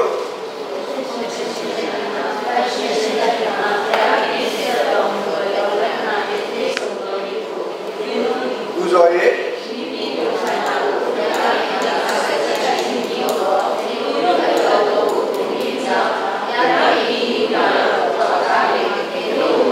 အဲ့တော့လူဇော်ဆိုတော့ဒီမှာကျွန်တော်ဗာတွေ့ရလဲဆိုရင်အသက်ရှင်နေတာတန်ရှင်နေတာခါလေးတက်တော့ဘုရားကလည်းပြည့်စုံတော့ရစ်ကိုတဲ့ရှစ်လို့ရတာနော်ရစ်ကိုတင်လို့ဒီပူဇော်၍ဆိုတော့ရစ်ကိုပူဇော်တယ်လို့ပြောလာတဲ့အခါကျတော့ရစ်ပူဇော်ရင်တော့ဗာလဲရစ်ပူဇော်ရင်တော့ဗာလဲကိုယ်ွယ်ချင်းလေကိုယ်ွယ်ချင်းအဲ့မှာဒါတကယ်တော့ကိုယ်ွယ်ချင်းကြောင့်ပြောတယ်အဲ့တော့အဲ့ဒီရစ်ကိုပူဇော်တဲ့အခါမှာတဲ့မိမိကိုယ်ခန္ဓာကိုမိမိပါဦးကျွန်တော်ချုပ်နေရတယ်မှာနော်လူတွေပြောလို့ရှိရင်ခရိယန်တွေပြောလို့ရှိတယ်လားဆိုတချို့တချို့ခရိယန်တွေဆိုအဲ့ကျွန်တော်အဲ့လိုမျိုးကတော့ Facebook မှာဒီမှာ comment ရေးနေတယ်တွေ့တွေ့နေအမလေး ဘုရားခင်စိတ်လုံးနဲ့ရှိပြီးတာဘုရားကြောင့်သွားမှာမဟုတ်ပါဘူးဒါပေမဲ့အဲ့ဒါမပြည့်နေဘူးတကယ်တမ်းတော့တကယ်မလိမ်ညာမပွဲမှုအတန်းပြောရတယ်မသွားချင်ဘူးပြောတာဘုရားခင်စိတ်လုံးထဲမှာရှိတာမရှိတာမသိချဘူးမသွားချင်တာတော့သိချတယ်ဘုရားစိတ်ထဲမှာရှိတာမရှိတာတော့မသိကြဘူးဘုရားတော့မသွားချင်တာတော့သိချတယ်အကြောင်းကြောင့်နေမှာပေါ့ဒါတော့ ပြောနေတာဒါပေမဲ့ကျွန်တော်ကအဲ့ဒီဟာကိုစင်ကြီးတစ်ခုနဲ့သုံးတာတော်တော်လေးနော်ရာစုနဲ့တိတိများလာဆိုတော့ဒီမှာကြည့်တရားကဘာကိုစက်ကတ်ခိုင်းလဲမိမိစိတ်နှလုံးစက်ကတ်ခိုင်းတာကိုယ်ကနာစက်ကတ်ခိုင်းတာဆိုတော့ရောက်ပါရှိလို့များအဲ့တော့လူမှာ၃ပိုင်းရှိတယ်နော်လူလို့ပြောရင်မြေကြီးပေါ်မှာအသက်ရှင်တဲ့လူဒီအပိုင်း၃ပိုင်းနဲ့အသက်ရှင်တယ် ဝိညာဉ်စိတ်ခန္ဓာ၃ပိုင်းရှိလူဒီဝိညာဉ်ဖြစ်တဲ့စိတ်နှလုံးရှိတဲ့ခန္ဓာထဲမှာနေအဲ့တော့မြေကြီးပေါ်မှာတင်ရှိနေတဲ့၍တင်ရဲ့ခန္ဓာဟာတင်ရဲ့စိတ်နှလုံးနဲ့ထပ်ထပ်များအရေးကြီးတယ်။ဘာကြောင့်လဲဝိညာဉ်ဆိုတာကတဲ့ God conscious ဝိညာဉ်ဆိုတာအ conscious လေဖျားကိုဆက်သွယ်ဖို့ကဝိညာဉ်ကပဲဆက်သွယ်လို့ရစိတ်နှလုံးနဲ့ဆက်သွယ်လို့မရဘူး အဲ့တော့စိတ်နှလုံးထဲမှာဘုရားသခင်ကိုဟိုလာနေရာပေးတယ်ဆိုတာဘာလဲဆိုတာဒါတော့အတိတ်ပဲတစ်ခုရှိတယ်အဲ့ဒါဘယ်လိုလဲဆိုတဲ့နီးလန်းရှိတယ်ဆိုတော့ဒါတော့ဒီနေ့တော့မပြောတော့အဲ့တော့စိတ်နှလုံးကြတော့ဘာလဲဆိုရင် self conscious စိတ်နှလုံးကမိမိကိုယ်ကိုသိစိတ်ကဘယ်လိုသိလဲကိုကိုကိုပဲအဲထဲမှာ commune လုပ်စိတ်ကဘုရားပေါ့ချိုလေးကကျွန်တော်ဆရာချောလာတယ်လို့ပြောရတယ် ကျွန်တော်သူ့စိတ်ထဲကိုလှမ်းမှန်းကြည့်လိုက်ဘယ်တော့မင်းနေလို့လဲဒီလိုလဲတွေ့ပြီနော်ဟုတ်တယ်လားချက်ချက်ခါရကြောင်လို့ဆက်အာနေကောင်းလားအဲထဲမှာတော့မသိသေးဘူးလားဘယ်လိုသိမှာလဲဟာစိတ်ထဲမှာကဖြစ်နေတာတခုလေပါဇက်ကပြောတာတခုလေခါလေးကြိုက်ရင်ဒီများတွေတွေ့တဲ့အခါမှာကောပြုံးပြပြုံးပြမျက်နှာတော့ပြုံးနေတယ်ဒါပေမဲ့ထဲထဲမှာကြည်မွနေတယ်သိကိုပဲသိတာကိုယ့်ရဲ့စိတ်နှလုံးထဲမှာဖြစ်သမျှအရာအလုံးကို ကအသိဆုံးဆိုစိတ်ဆိုတာမိမိကိုယ်ကိုသိစေတယ်မိမိဘာခံစားနေမိမိနာကျင်တယ်မိမိကြည်ကွဲတယ်အပြင်ကနေဘလောက်ပဲဟန်ဆောင်ပြီးတော့သူများရှိမှပြောလို့နေနေဒီမဲ့လေကိုယ့်အထက်ထဲမှာခံစားနေတဲ့ rejection တွေကိုယ့်ထဲမှာခံစားနေတဲ့ခါးသီးမှုတွေကိုယ့်ထဲမှာခံစားနေတဲ့ချီနှောင်မှုတွေခွင့်မလို့ချင်းတွေမုန်းပြီးမှုတွေအားလုံးကဒီထဲမှာအကုန်လုံးရှိတယ်ကိုသိတယ်ဆိုတော့စိတ်လုံးဆိုတာ subconscious အဲ့ဒီလိုပဲစိတ်လုံးထဲမှာချစ်ချင်းမြတ်တာရှိလဲထဲထဲမှာကိုယ်ကိုသိကောင်းမလေးကိုကြိတ်ကြိုက်ကိုယ်ထဲမှာသိချောကလက်ကပေးချင်တယ် တော့ပေးပိုက်ကမှာဆိုရတယ်ချောကလက်လေးကိုင်းနေပါလို့နဲ့ဟိုစားချောကလက်ကြိုက်လို့အဲ့တော့ကိုခန္ဓာကြတော့ပါတော့ကိုခန္ဓာဆိုတာ world conscious အခုကျွန်တော်ဒီမှာစကားပြောနေတဲ့အခါမှာကျွန်တော်ကစိတ်နဲ့ပြောတယ် ကျွန်တော်စိတ်ထဲမှာဒါတွေအကုန်လုံးရှိရတယ်အဲ့တော့အားလုံးကိုကျွန်တော်စိတ်နဲ့ပဲပြောတယ်စိတ်နဲ့ပဲနားတော့ကြားတယ်အဆင်ပြေမလားလွယ်တယ်ပြောတယ်လေဘယ်လိုကြားမလဲကျွန်တော်ဒီကလူတွေနားနဲ့နားတော့ကျွန်တော်ဘာလဲပြောရလဲအစက်နဲ့ပြောရတာအဲ့ဒါခန္ဓာနဲ့ခန္ဓာချင်းဆက်သွယ်တဲ့အရာပဲကျွန်တော်လူတယောက်ကိုမေတ္တာပြဖို့ဆိုရင်ကျွန်တော်ဟာစိတ်နှလုံးနဲ့ပြလို့ရတယ်အဲ့ဒီစိတ်နှလုံးထဲမှာရှိတဲ့အရာကိုခန္ဓာက carry out လုပ်လိုက်ပါအဲ့ဒီလူကအဲ့ဒီမေတ္တာကိုခံစားရတာဖြစ်တယ် လူတယောက်ကိုကျွန်တော်ကျေးဇူးပြုချင်တယ်ကျွန်တော်လက်ကနေပေးရတာစိတ်နှလုံးထဲကနေပေးလို့မရဘူးစိတ်နှလုံးထဲမှာရှိတဲ့အရာကဘယ်ပေါ်မှာပေါ်လာမလဲခန္ဓာမှာပေါ်လာအဲ့တော့လောကကြီးမှာတရားကြီးဖြစ်စေခြင်းတဲ့အရာတွေဖြစ်လာဖို့ဆိုရင်သင်စိတ်နှလုံးထဲမှာရှိတယ်ဆိုပြီးတော့မှဖြီးဖြန်းလို့မရဘူးကျွန်တော်လည်းလည်းလေးပြဘူးမှမမမြင်တော့ရှောက်ပြီးတော့မှပောက်ကဲရှောက်ပြီးတော့အဲ့တော့အချင်းချင်းအဲ့လိုပဲဟာအဲ့စင်ကြီးလေးတွေတုံးပြီးတော့ကျွန်တော်တို့ဗာဖြစ်နေကြတယ်စင်ကြီးတွေကြ သူလည်းဒီစင်ကြီးတုံးကိုလည်းဒီစင်ကြီးတုံးပေါ့မလေးစင်လုံးထဲမှာရှိဘုရားတော်မလာဘူးလားဆံမအားလို့ဒါလေးလားဘာလို့ဘာလို့မကြည့်ဘယ်အားညီမကားရှိစိတ်ပါကိုရစိတ်ပါကိုရဒီပဲပါလေစိတ်ပါရဲ့ကိုရောက်လာတယ်နော်ဒီမှာတတိစားရလည်းရှိရှိနော်တတိစားပေါ်ဖြတ်သန်းမှုရလည်းရှိရှိပါ ကိုကြီးစားရှိရတယ်အမေအထူးသဖြင့်ချစ်စကျင်စားဆိုကိုဆိုအဲ့လောက်ဝေးဝေးတက်ဆီကားတွေကုန်လဲသွားတာဆိုစိတ်လုံးကခံလိုက်ရတာခံလာကခိမထားနိုင်တော့အဲ့ဒါလူကရောက်တော့ပတ်စံတွေကုန်တယ်ဘာလည်းမမှုတော့နေပူတာလည်းမမှုတော့အဲ့ဒါကျွန်တော်တို့ကျွန်တော်ကိုယ်တိုင်ဒါဖြတ်တန်းလာခဲ့တဲ့ကြာနော်ကျွန်တော်တို့ကျွန်တော်ဇနီးတဲ့နဲ့ကျွန်တော်ဇနီးဟောတာသမီးစားဘွားကလောက်ဒီဘလောက်ကားချက်ချက်ကျွန်တော်သူရှိတဲ့နေရာကျွန်တော် တော့တကယ်တော့လူကကားချက်တာကြိုက်တယ်ဟုတ်လားဒါပေမဲ့အဲ့လိုတော့ရတာဘိုးပဲကျင်နန်းစိတ်ပါရပါပဲလေကိုရောက်တယ်စင်ကာပူကနေယူရိုကိုဘောလုံးပွဲချီကိုပတ်စံအကုန်ခံသွားတဲ့မြန်မာတွေအများကြီးပဲရှိတယ်ဟုတ်လားမဟုတ်လားမြန်မာပြည်ကနေတော့သွားတာနော်စင်ကာပူတော့ပြောမယ်ချချန်ပီယံလိဂ်ကြီးကိုယူရိုယူရိုလာချီကိုဘာကြလဲကျွန်တော်စိတ်နဲ့ကြည့်လို့မရဘူး စိတ်နဲ့ကြည့်လို့ဘောလုံးပွဲစိတ်နဲ့ကြည့်ရရှိလားရှိ Facebook ကို internet ကို news feed ကိုစိတ်နဲ့ပို့ပို့စီလဲစိတ်နဲ့တင်ပေါ့ခိခိုင်နေတယ်အလုံးရှုပ်တတ်တာတယ်မျက်စိကျိတ်တတ်တာတယ်ပေကုန်တတ်တာဆိုကောင်းလားမဟုတ်ဘူးဒီစိတ်မှာဖြစ်တဲ့ຢာတွေအလုံးမပေါ်လာတယ်ခန္ဓာမှာပေါ်တယ်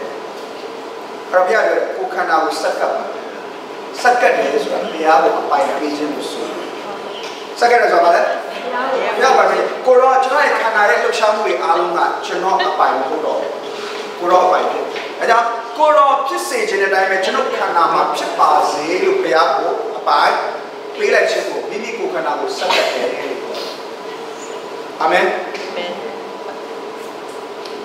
ဒါဆိုရင်စိတ်ကရောက်တယ်ဆိုတဲ့စကားကိုပြောရင် ပြောင်းတယ်ပြောင်းလိုက်တယ်အစိုးရကတော့တကယ်တကယ်ဖြစ်တာပါတကယ်ပါတေးရှိရေးကြောင်းတော့လကောက်တကယ်ကို emergency ကြောင်းတော့လကောက်တကယ်ကိုအလုပ်ကဘယ်လိုမှခွင့်မရဘူးဒါတွေရှိပါဒါကိုကျွန်တော်မဆိုလို့အားရတန်းနဲ့မလာနိုင်တာကိုမလာချင်တာကိုစိတ်ကရောက်တယ်လို့ပြောတာဒီအဲ့ဒါပြောင်းနေတာကြောက်တယ်ဘာလို့မလာချင်ဘူးလို့ပြောရင်ကောင်းတယ်လူမှုရေးရကျွန်တော်တို့ကညာနေကြတယ် ဆိုတော့စိတ်ပါရင်မရောက်လာတယ်ဒါဆိုရင်မိမိကိုယ်ခန္ဓာကိုစက်ကပ်ခြင်းတဲ့အနေကတည်းရဲ့စိတ်နှလုံးကိုဘုရားကိုတကယ်ပေးတယ်ဆိုတဲ့လက္ခဏာဖြစ်တယ်ဒါဆိုရင်တဲ့စိတ်နှလုံးကိုဘုရားကိုတကယ်ပေးခြင်းဟာကတော့ဘာလဲကိုယ်ခန္ဓာကိုစက်ကပ်ခြင်းပါအဲ့တော့ကိုယ်ခန္ဓာကဘာနဲ့လုပ်လဲဆိုတော့မြေကြီးနဲ့လုပ်တာရစ်ပလင်ဆိုတာဘာလဲကိုယ်ဝယ်မယ်မြေဆိုတာဘာလဲ ကိုယ်ခန္ဓာဒါဆိုရင်ကိုယ်ခန္ဓာဆိုတာဘာလဲမြေရစ်ပလင်ယုံကြည်သူတိုင်းရဲ့ကိုယ်ခန္ဓာအသွေးသားကိုယ်ခန္ဓာဒီဘာလဲမြေရစ်ပလင်ဖြစ်တယ်ဒါဆိုရင်မြေရစ်ပလင်ဆိုတဲ့ကိုယ်ခန္ဓာဒီတနည်းအားဖြင့်ပါလဲကိုယ်ဝယ်မယ်ဒီဖျားတော်ကြီးကကိုယ်ဝယ်မယ်မဟုတ်ဘူးဒါစူဝေးရတယ်ခရစ်တော်ရဲ့အင်္ဂါချင်းတွေလာပြီးစုဝေးပြီးဘုရားကိုအတူတကွာဟလားသ ဘောတူပြီးစုဝေးတဲ့နေရာကိုယ်ဝယ်တယ်ဖြစ်တယ် personal worship မဟုတ်ဘူး personal worship အတွက်တည့်ရဲ့ဟလားတူချင်းဘုရားနဲ့ဆက်ဆံတဲ့ကိုယ်ဝယ်ခြင်းတွေကတည့်ရဲ့ခန္ဓာကပါလဲကိုယ်ဝယ်အကျဉ်းသားတွေပါရှိတယ်ဘုရားရဲ့ဘုရားရဲ့ဝိညာဉ်ကတည့်တယ်ဒီဟာဘုရားကြီးကိလို့တော့ဘိမဖြစ်ဖြစ်တယ်ဘုရားရဲ့ဝိညာဉ်ကတည့်တယ်မှာရှိတယ်တည့်ကိုယ်ခန္ဓာပါလဲကိုယ်ဝယ်နေရာလေးတော့ပါလဲ ဒါဆိုရင်ဒီနေရာမှာထိုင်နေတဲ့တည့်ရဲ့ခန္ဓာကပါကြီးလေဒီရုပ်တွေဒါဆိုရင်ဘာကြီးထိုင်ကြလဲဖတ်သွားရင်ဘာကြီးဖတ်သွားမှာလဲ shopping သွားရင် TV ကြည့်ရတယ်လီဖုန်းကိုင်တယ်လီဖုန်းကိုရကျွန်တော်တို့မသိဘူးမသိဘူးဒီအမေရေးပြင်ဆိုတော့မသိတော့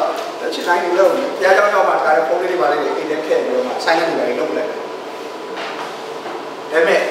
ကျွန်တော်တို့ကအချိန်လုံးကိုကိုယ်ရနေရနဲ့ထပ်ထပ်မြတ်ကြိုက်ရရှိနေတယ်ဆိုတော့ကျွန်တော်တို့သိဒါဆိုရင်ဒီခန္ဓာကမြေပြင်ဖြစ်တော့ကြောင့်သင်ရောက်နေတဲ့နေရာတိုင်းကဘာနေရာဖြစ်သွားလဲကိုယ်ပဲနေရာသင်ရှိနေတဲ့အချိန်တိုင်းကဘာဘာချိန်ဖြစ်သွားလဲရောက်နေတဲ့အချိန်ကြုံနေရတဲ့အချိန်တွေတိုင်းကဘာအချိန်ဖြစ်သွားလဲကိုယ်ပဲချိန်ဖြစ်သွားဒါဆိုရင်အကန့်အသတ် မရှိတော့ဒါပေမဲ့ပြဿနာပါလဲဆိုရင်အခုမှဒီခန္ဓာကဘာမှဖြစ်တယ်လဲဒါဆိုရင်မြေရပြင်မှာတိတိကျကျကိုယ်ပဲချိန်ဖြစ်သွားလားမဖြစ်ဘူးလေရစ်ပလင်မှန်းမှမသိတာတော့ရစ်ပလင်ပေါ်မှာရစ်ရှင်လာရစ်ရစ်ရစ်ပလင်မှမသိတော့တင်နေတာတွေ၆တယ်အဲ့တော့ကြည့် yes ဆိုတာအင်္ဂလိပ် sacrifice နော် sacrifice ဆိုတဲ့စကားရဲ့အဓိပ္ပာယ်ဒီစတေးခြင်းဖြစ်တယ် sacrifice ဆိုတာဘာလဲစတေးခြင်းတစုံတယောက်ချိန်နဲ့ပို့အတွက်တစုံတယောက်ဝမ်းမြောက်ပို့အတွက်ကိုယ့်ရဲ့ဝမ်းမြောက်ခြင်းတော်လည်းကောင်းကိုယ့်ရဲ့ချိန်နဲ့ခြင်းတော်ကမလုပ်ရတဲ့ဆိုရင်စတီးပါဆိုရစ်လို့ပြောရတဲ့အခါမှာတစုံတယောက်ရဲ့ကောင်းကျိုးအတွက်ရစ်ဟာရှိလို့ဖြစ်လိုရတဲ့အရာတစ်ခုမှာပါတယ်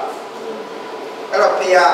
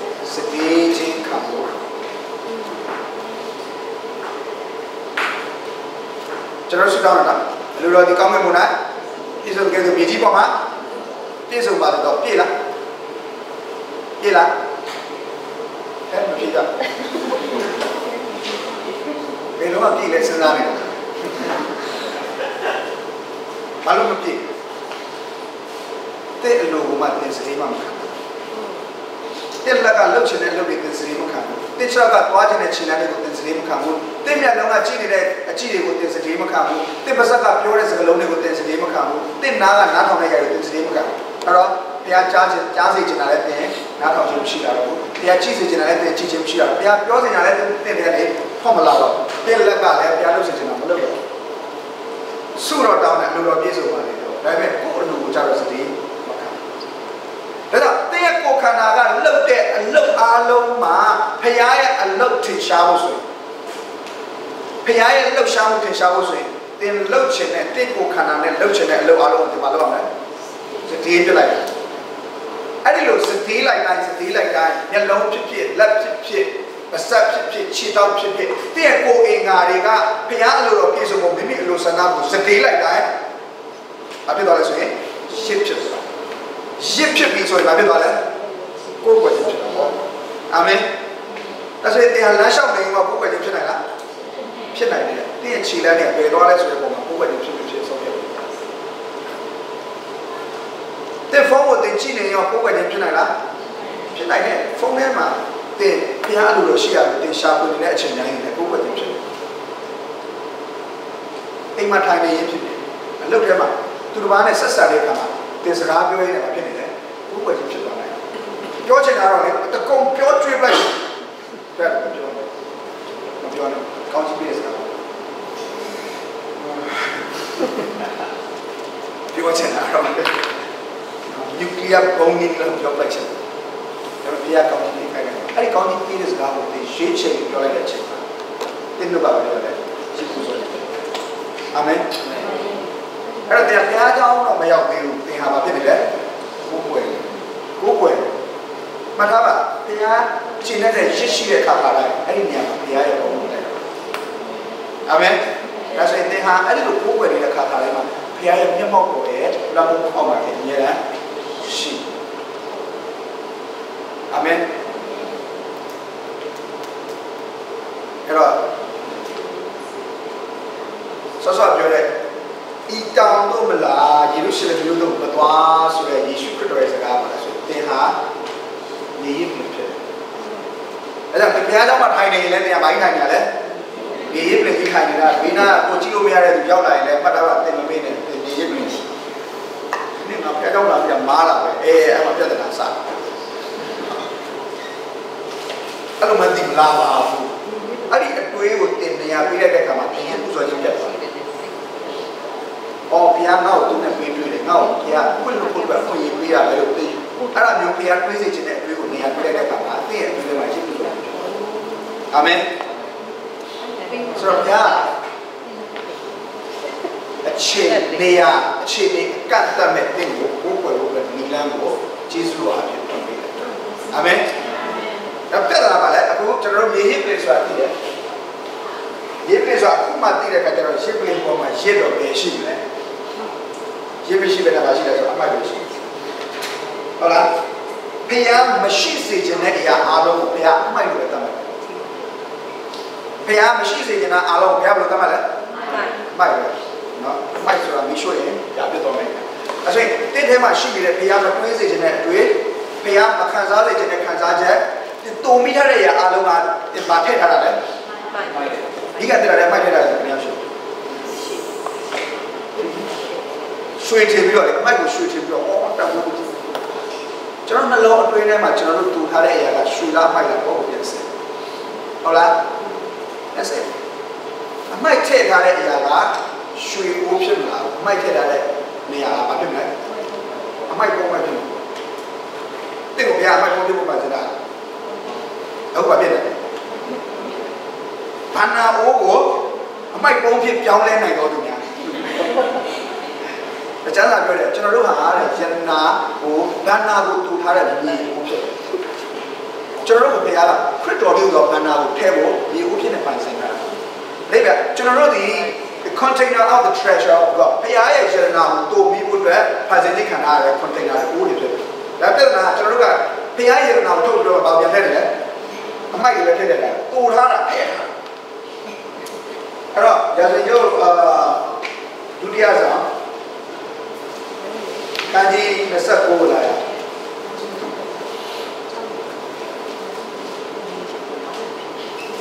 ဒါတော့တော်တော်လေးတော့အာ စပြီးဖတ်ကြည့်ရတယ်နော်စပြီးဆုံးနေကြည့်မယ်ဆိုရင်အဲ့ဒီဖြစ်တဲ့ဆိုတော့ဒါမှဒီကြောင့်ဆိုကိစကိကြောင့်ကိစကိနော်ကိစကိကအသက်25နှစ်မှာတဲ့ရရရတဲ့တော့ခန်းကြီး29နှစ်မှာအသက်25နှစ်မှာနားခါကြီးယေရုရှလင်မြို့မှာ29နှစ်ဆိုတာလေအဲ့တော့အငယ်3ရောက်လာတဲ့ကစကြည့်အောင်ပါနန်းဆန်ပထမနေ့ပထမလာပဲနဲ့ဗိမာန်တော်တကားတို့ကိုဖွင့်၍ပြုဖြစ်တ ယ်ဖွင့်၍ပြုပြင်တယ်ဆိုတော့ဗိမာန်တော်တကားအရင်ကမလုပ်တာမနာပါတန်ရှင်းရခန္ဓာဆိုတော့လူရဲ့စိတ်ကလေးကိုပုံဆောင်လူရဲ့စိတ်လုံးပုံဆောင်တဲ့အတွက်လူရဲ့စိတ်နှလုံးဆိုတာဖယားကမဖွင့်လူရဲ့စိတ်နှလုံးတကားကိုဖယားဖွင့်လားဖယားဖွင့်လားဖွင့်ဘူးခောက်ပဲခောက်ဖွင့်တယ်လို့ကဘူးလားဟုတ်လို့အခုဟေစကီယာဘာလို့လဲဆိုရင်ဘိမရတာဖွင့်ပြပြီဘာဖြစ်လို့လဲဆိုတော့အဲထဲမှာကြည့်လိုက်အငယ်ငါးမှာ အိုလေဝိတာတို့နားထောင်တော့ကိုကိုကောင်ဘိုးလေးကြီးရဲ့ထားရတဲ့အိမ်တော်ကိုကောင်တန့်ရှင်းစေတန့်ရှင်းရကာနာထဲကအမိုက်ကိုတုတ်တင်ပဲရှင်းကြတယ်နာမည်ကဘာလဲလဲတန့်ရှင်းရကာနာတန့်ရှင်းရကာနာမှာဘာရှိလဲအဲ့တော့မတန့်ရှင်းရကာနာဖြစ်တယ်ကျွန်တော်တို့စိတ်ကလေးဖြစ်တယ်။ဘာနာထဲတဲ့မြေကိုပြမယ်စားဘာဖြစ်လာလဲ။အမိုက်ပုံဖြစ်တယ်။သူကဒီမှာဟမ် အဲ့တော့အဲ့ဒါနဲ့ဟေဇကိယဘာဆက်ပြောလာလဲဆိုတော့နော်မကြည့်ငါတို့ဘာများ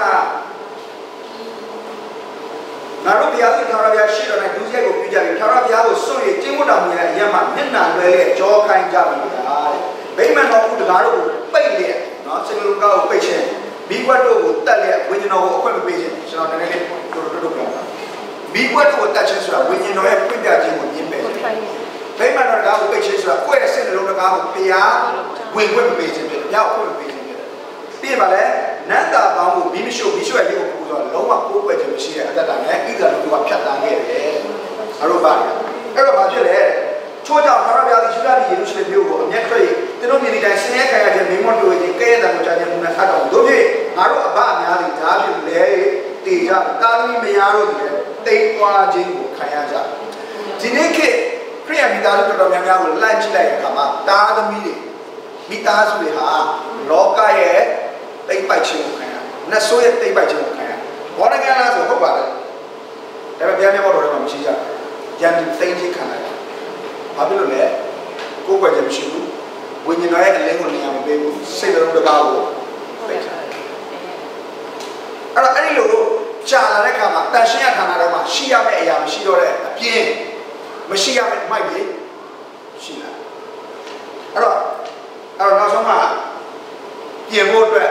တရားပြီးပြောပြောပြောတာเนาะအရင်တိုင်းပြန်ပြဖို့အဲ့တော့အဲ့မှာကြည့်ကြည့်အောင်အငယ်အငယ်16ယေဘရဟိတို့သည်ဗိမာန်တော်ကိုတန်ရှင်းစေခြင်းကအတွေ့ခံတဲ့သို့ဝင်၍တွေ့သမျှသောအမိုက်ကိုလိုင်းတို့ထုတ်ပြီးလေဝိသားတို့ကေဂျုံချောင်းတို့ယူသွားကြတယ်အတွင်းခန်းတဲ့ဘာထုတ်လဲ မိုက်ကိုထုတ်ထုတ်ပြီးတော့ဘယ်မှာပြစ်လဲဆိုရင်ချောင်းမှာပြစ်ဘယ်မှာပြစ်လဲချောင်းမှာပြစ်ချောင်းဆိုတဲ့အိဗယ်ပါလေချောင်းဆိုတာစီးနေတဲ့နေရာပဲ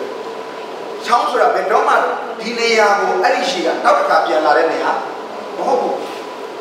ဒါဆိုရင်အိဗယ်ကအဲ့ဒီမှာပြစ်လိုက်တဲ့အရာကြီးအဲ့ဒီနေရာကိုဘယ်တော့မှပြန်မရောက်ပါဘူးပြီးအပီးတိုင်းအပီးအပိုင်ဆွတ်ပြလိုက်ခြင်းဆိုတဲ့အတိတ်ပဲဖြစ်တယ် ခုကျွန်တော်တို့ခရီးတွေကဆွတ်ပြလာပြစ်တယ်ဘယ်နဲ့တော့ပြစ်တယ်ကန်နဲ့တော့ပြစ်တယ်ကန်နဲ့တော့ပြစ်တော့ပဲလေခဏလေးပြန်ပြန်ပေါ်လာပေါ်လို့လေးပေါ်လာဒီဘက်ကကိုကိုရတက်တာမရှိနေတော့ဘူးဆိုအဲ့ဒီမှာဘယ်အချိန်မှရေးလဲဆိုရင်တော့ငယ်ငယ်ဆက်ခုနဲ့မှာပထမလတရက်နေတန်ရှင်းစာပြီးရှေ့ရက်တွေဘယ်မှာတော့ဘုလို့ရောက်ကြတယ်ပထမလပထမနေ့ပထမလပထမနေ့ ဒီနေ့သင်ဘုရားကိုသိပြီးတော့မှဒီနေ့ကနေစပြီးသင်ပထမဆုံးလုပ်ရမယ့်အရာတွေမလုပ်ရမယ်လားအမိုက်ရှင်းရမလုပ်ရမယ်ဒီနေ့ကအမိုက်ရှင်းအမိုက်နဲ့ရှင်းတဲ့တွဲပူဇော်လို့မရဘူးလားဘာနဲ့ပါတွဲပူဇော်လို့မရဘူးလားဘုရားလည်းမပါတန်ရှင်းခြင်းဆိုတာတိတတ်မှာဖြစ်တယ်တခုနဲ့ကြောင်းလိုက်တာနဲ့အဲ့ဒါဉာဏ်ချင်းဖြစ်သွားတယ်အဲ့တော့တရားတရားချိန်တဲ့ရစ်ကိုပူဇော်ခြင်းရင်အရင်ဆုံးဘာလုပ်ရမလဲ အမိုက်ရှင်းရအမိုက်ကိုထုတ်ပေးတဲ့ဝိညာဉ်တော်ဘုရားရဲ့အလုပ်ကိုသင်ပေါ်ထားဖို့လိုအဲ့တော့ဆက်ပြီးကြည့်လာတဲ့အခါမှာအငယ်16မှာတောက်ဆရာကောင်းတဲ့အချက်ချက်တွေ့ရတယ်ထိုမှတပါအကမေဒီလက်ထ၌အတ္တမပိသာတော်ဒဇာရှိသမျှကိုကျွန်တော်တို့သည်ပြင်ဆင်၍တန့်ရှင်းဖို့တို့လည်းသာရဘုရား၏ရစ်ပရင်တော်ရှိမှတင်ထားပါလို့ဆိုပြီးလက်တယ်ရပါလေတဲတော်ထဲမှာဗိမာန်တော်ထဲမှာထားရမယ့်ပစ္စည်းရှိတယ်ဥပမာတန့်ရှင်းရတာကမှဆိုရင်ပစ္စည်းသုံးခုရှိတယ် အာရွှေရွှေစီမီကုန်တယ်ပြီးရင်ရှေ့တော်ကိုဆိုပဲပြီးရင်နားတော်မရှိရွှေရပဲတန်ရှင်းထားတာမှာသုံးခုရှိတယ်အတန်ရှင်းဆုံးခါတာမှာပရိညတစ်တာနဲ့ဂိယူနာပရိရှိတယ်နှစ်ခုရှိတယ်အဲ့ဒါအားလုံးကိုအာခတ်မင်းကြီးလက်ထက်မှာမလုပ်လိုက်ရဆိုရင်အတ္တမပြုပြီးတယ်ပြစ်ပလိုက်ပြစ်လိုက်ရဆိုတာသူရှိရမယ့်နေရာမှာ မရှိတော့ဒါကြောင့်တင်းနဲ့ကျွန်တော်ရဲ့စိတ်နှလုံးရဲ့အထဲမှာရှိရမယ့်အရာဒီတစ်ချက်ဝိညာဉ်တော်ရဲ့လမ်းပြပို့ဆောင်ခြင်းဆိုတဲ့မိစီမီနှစ်ချက်ဖះကျွေးမွေးနေတဲ့ရှေ့တော်မဟုတ်ပြီးတော့ဖះရဲ့မျက်မှောက်တော်ကနေကျွန်တော်တို့ကိုကျွေးနေတဲ့ဖះရဲ့အသက်မဟုတ်စားစရာနှစ်တစ်ချက်နာနာဘကိုမိရှို့ခြင်းလို့တော့ဖះကျင်တဲ့အသက်တာကိုဖုံဖုံအားတွေနဲ့အသက်ရှင်နေတယ်အဲ့ဒါတွေကလည်းတန်ရှင်းကတော့မရှိတော့အခုယုံကြည်သူတော်တော်များများနှလုံးသားထဲမှာလည်းဒီသုံးခုမရှိဘူး ဘာပဲရှိလဲမှတ်ရှိရမယ့်အရာမရှိမရှိရမယ့်အရာရှိဖြစ်နေတဲ့အခါကျတော့တရားကိုရှစ်ပူစော်လဲညစ်ညစ်ပတ်တဲ့ရှစ်ပဲဖြစ်တယ်ဆိုတော့အဲ့ဒီလိုပြန်ပြီးတော့မှတဲ့ထားပြီးနောက်မှာကျတော့မှငွေ20ရောက်ခိုးခါတေစကိမင်းကြီးစောစောထားရေးဆိုတော့နောက်ဆုံးမှာဘာလို့လဲဆိုရင်ရှစ်ပေါင်းများစွာပူဆိုတော့ဒီကဘုရားအိမ်တန်ရှင်းတယ်ဒီတင်ရင်ပြန်ဆိုတာကိုပြီးဆိုရင်မပြီးသေးဘူးဒီ ပေါင်းများစွာရစ်ပလင်မှမသိလို့ထားရမယ့်နေရာအရာမထားပဲနဲ့မထားရမယ့်အရာတွေထားတော့ရစ်ပလင်ပေါ်မှာဘာပဲရှိလဲမိုက်ပဲရှိတယ်ဆိုတော့ဝိညာဉ်တော်တရားကိုအားဖွင့်ပေးတယ်တဲ့အမိုက်တွေကိုအကုန်စင်တွေ့သမျှကိုထုတ်ဖို့ကျန်တာကိုပြောတယ်တွေ့သမျှနည်းနည်းလည်းမဟုတ်ညံ့ညံ့လည်းမဟုတ်တွေ့သမျှအကုန်စင်ကိုထုတ်ပြီးထုတ်ပြီးတော့မှချောင်းပါ အဲ့တော့အဲ့ဒီလိုလွတ်ပြစ်ပြီးတန်ရှင်းစေပြီးတော့မှရှိရမယ့်ရအားလုံးကိုနေရာတခြားပြန်ထားပြီးမှပဲအားလုံးရလဲရစ်ပူဆိုအာမင်အဲ့ဒါပြင်ပြီးပြင်ဆိုတော့ပြီးအရင်ဆုံးမိုက်ရှင်းကောကျွန်တော်ပြကျွန်တော်ရဲ့စိတ်နှလုံးသားကိုဖွင့်လာကျွန်တော်ထဲမှာကိုတော့တွေ့သမျှကိုရှာရင်အကျွင်းကြံတယ်ကိုကကိုကလည်းထုတ်ပြရလေးပဲထုတ်ထုတ်ပါလေ ဖះရှာရဲ့အကျွင်းမဲ့တွေ့အဲ့တော့ဘုရားတွေ့တဲ့ကြောင်ဘာလုပ်ပေးမလဲရှင်းပေးမယ်တရားအရှင်းခံခြင်းနဲ့လို့ဒီပြောဟုတ်တယ်တယ်အာမင်ပြန်ပြီးတော့အာမင်ဆိုတော့အဲ့ဒီကိုအရှင်းခံပြီးပြီဆိုတော့မှဘုရားရဲ့ဝိညာဉ်တော်စီမီဆိုတဲ့ဖွင့်ပြခြင်းကိုနေရာပေးလို့ရမယ်ရောထားလို့တော့မရဘူး ပြီးရင်ဘုရားရဲ့ကျွေးမွေးခြင်းဆိုတဲ့ဘုရားရဲ့ရှေ့တော်မူသူပွဲဆိုတဲ့အသက်တာကိုတင်ပြပေးလို့ရမယ်ပြီးရင်ဘုရားချီနှက်တဲ့ငွေကြိုင်တော်ရည်နဲ့ဖြစ်တဲ့အသက်တာပြီးတော့နတ်တာပေါင်းပြီးရှို့ရအသက်တာကြီးနဲ့တင်းရဲ့အသက်တာတွေထွက်လာတယ်အဲ့ဒီခါကြတော့မှပဲတင်းရဲ့အသက်တာရဲ့နေ့စဉ်သက်ရှင်ခြင်းကဖြစ်လာမယ်ဆိုရင်ဘုရားချီနှက်တဲ့ရှစ်ပူဇော်ခြင်းဖြစ်လာတယ်အာမင်အဲ့ဒီခါကျရင်တင်ပြီးတရားမရွေးအချိန်မရွေးအချိန်နေမရွေးကိုယ်ွယ်တဲ့မန်တော်ကိုယ်ွယ်တဲ့ဖြစ်လာတယ်အာမင် 要是然我们家的脸皮也不能去过，接受不了。这么？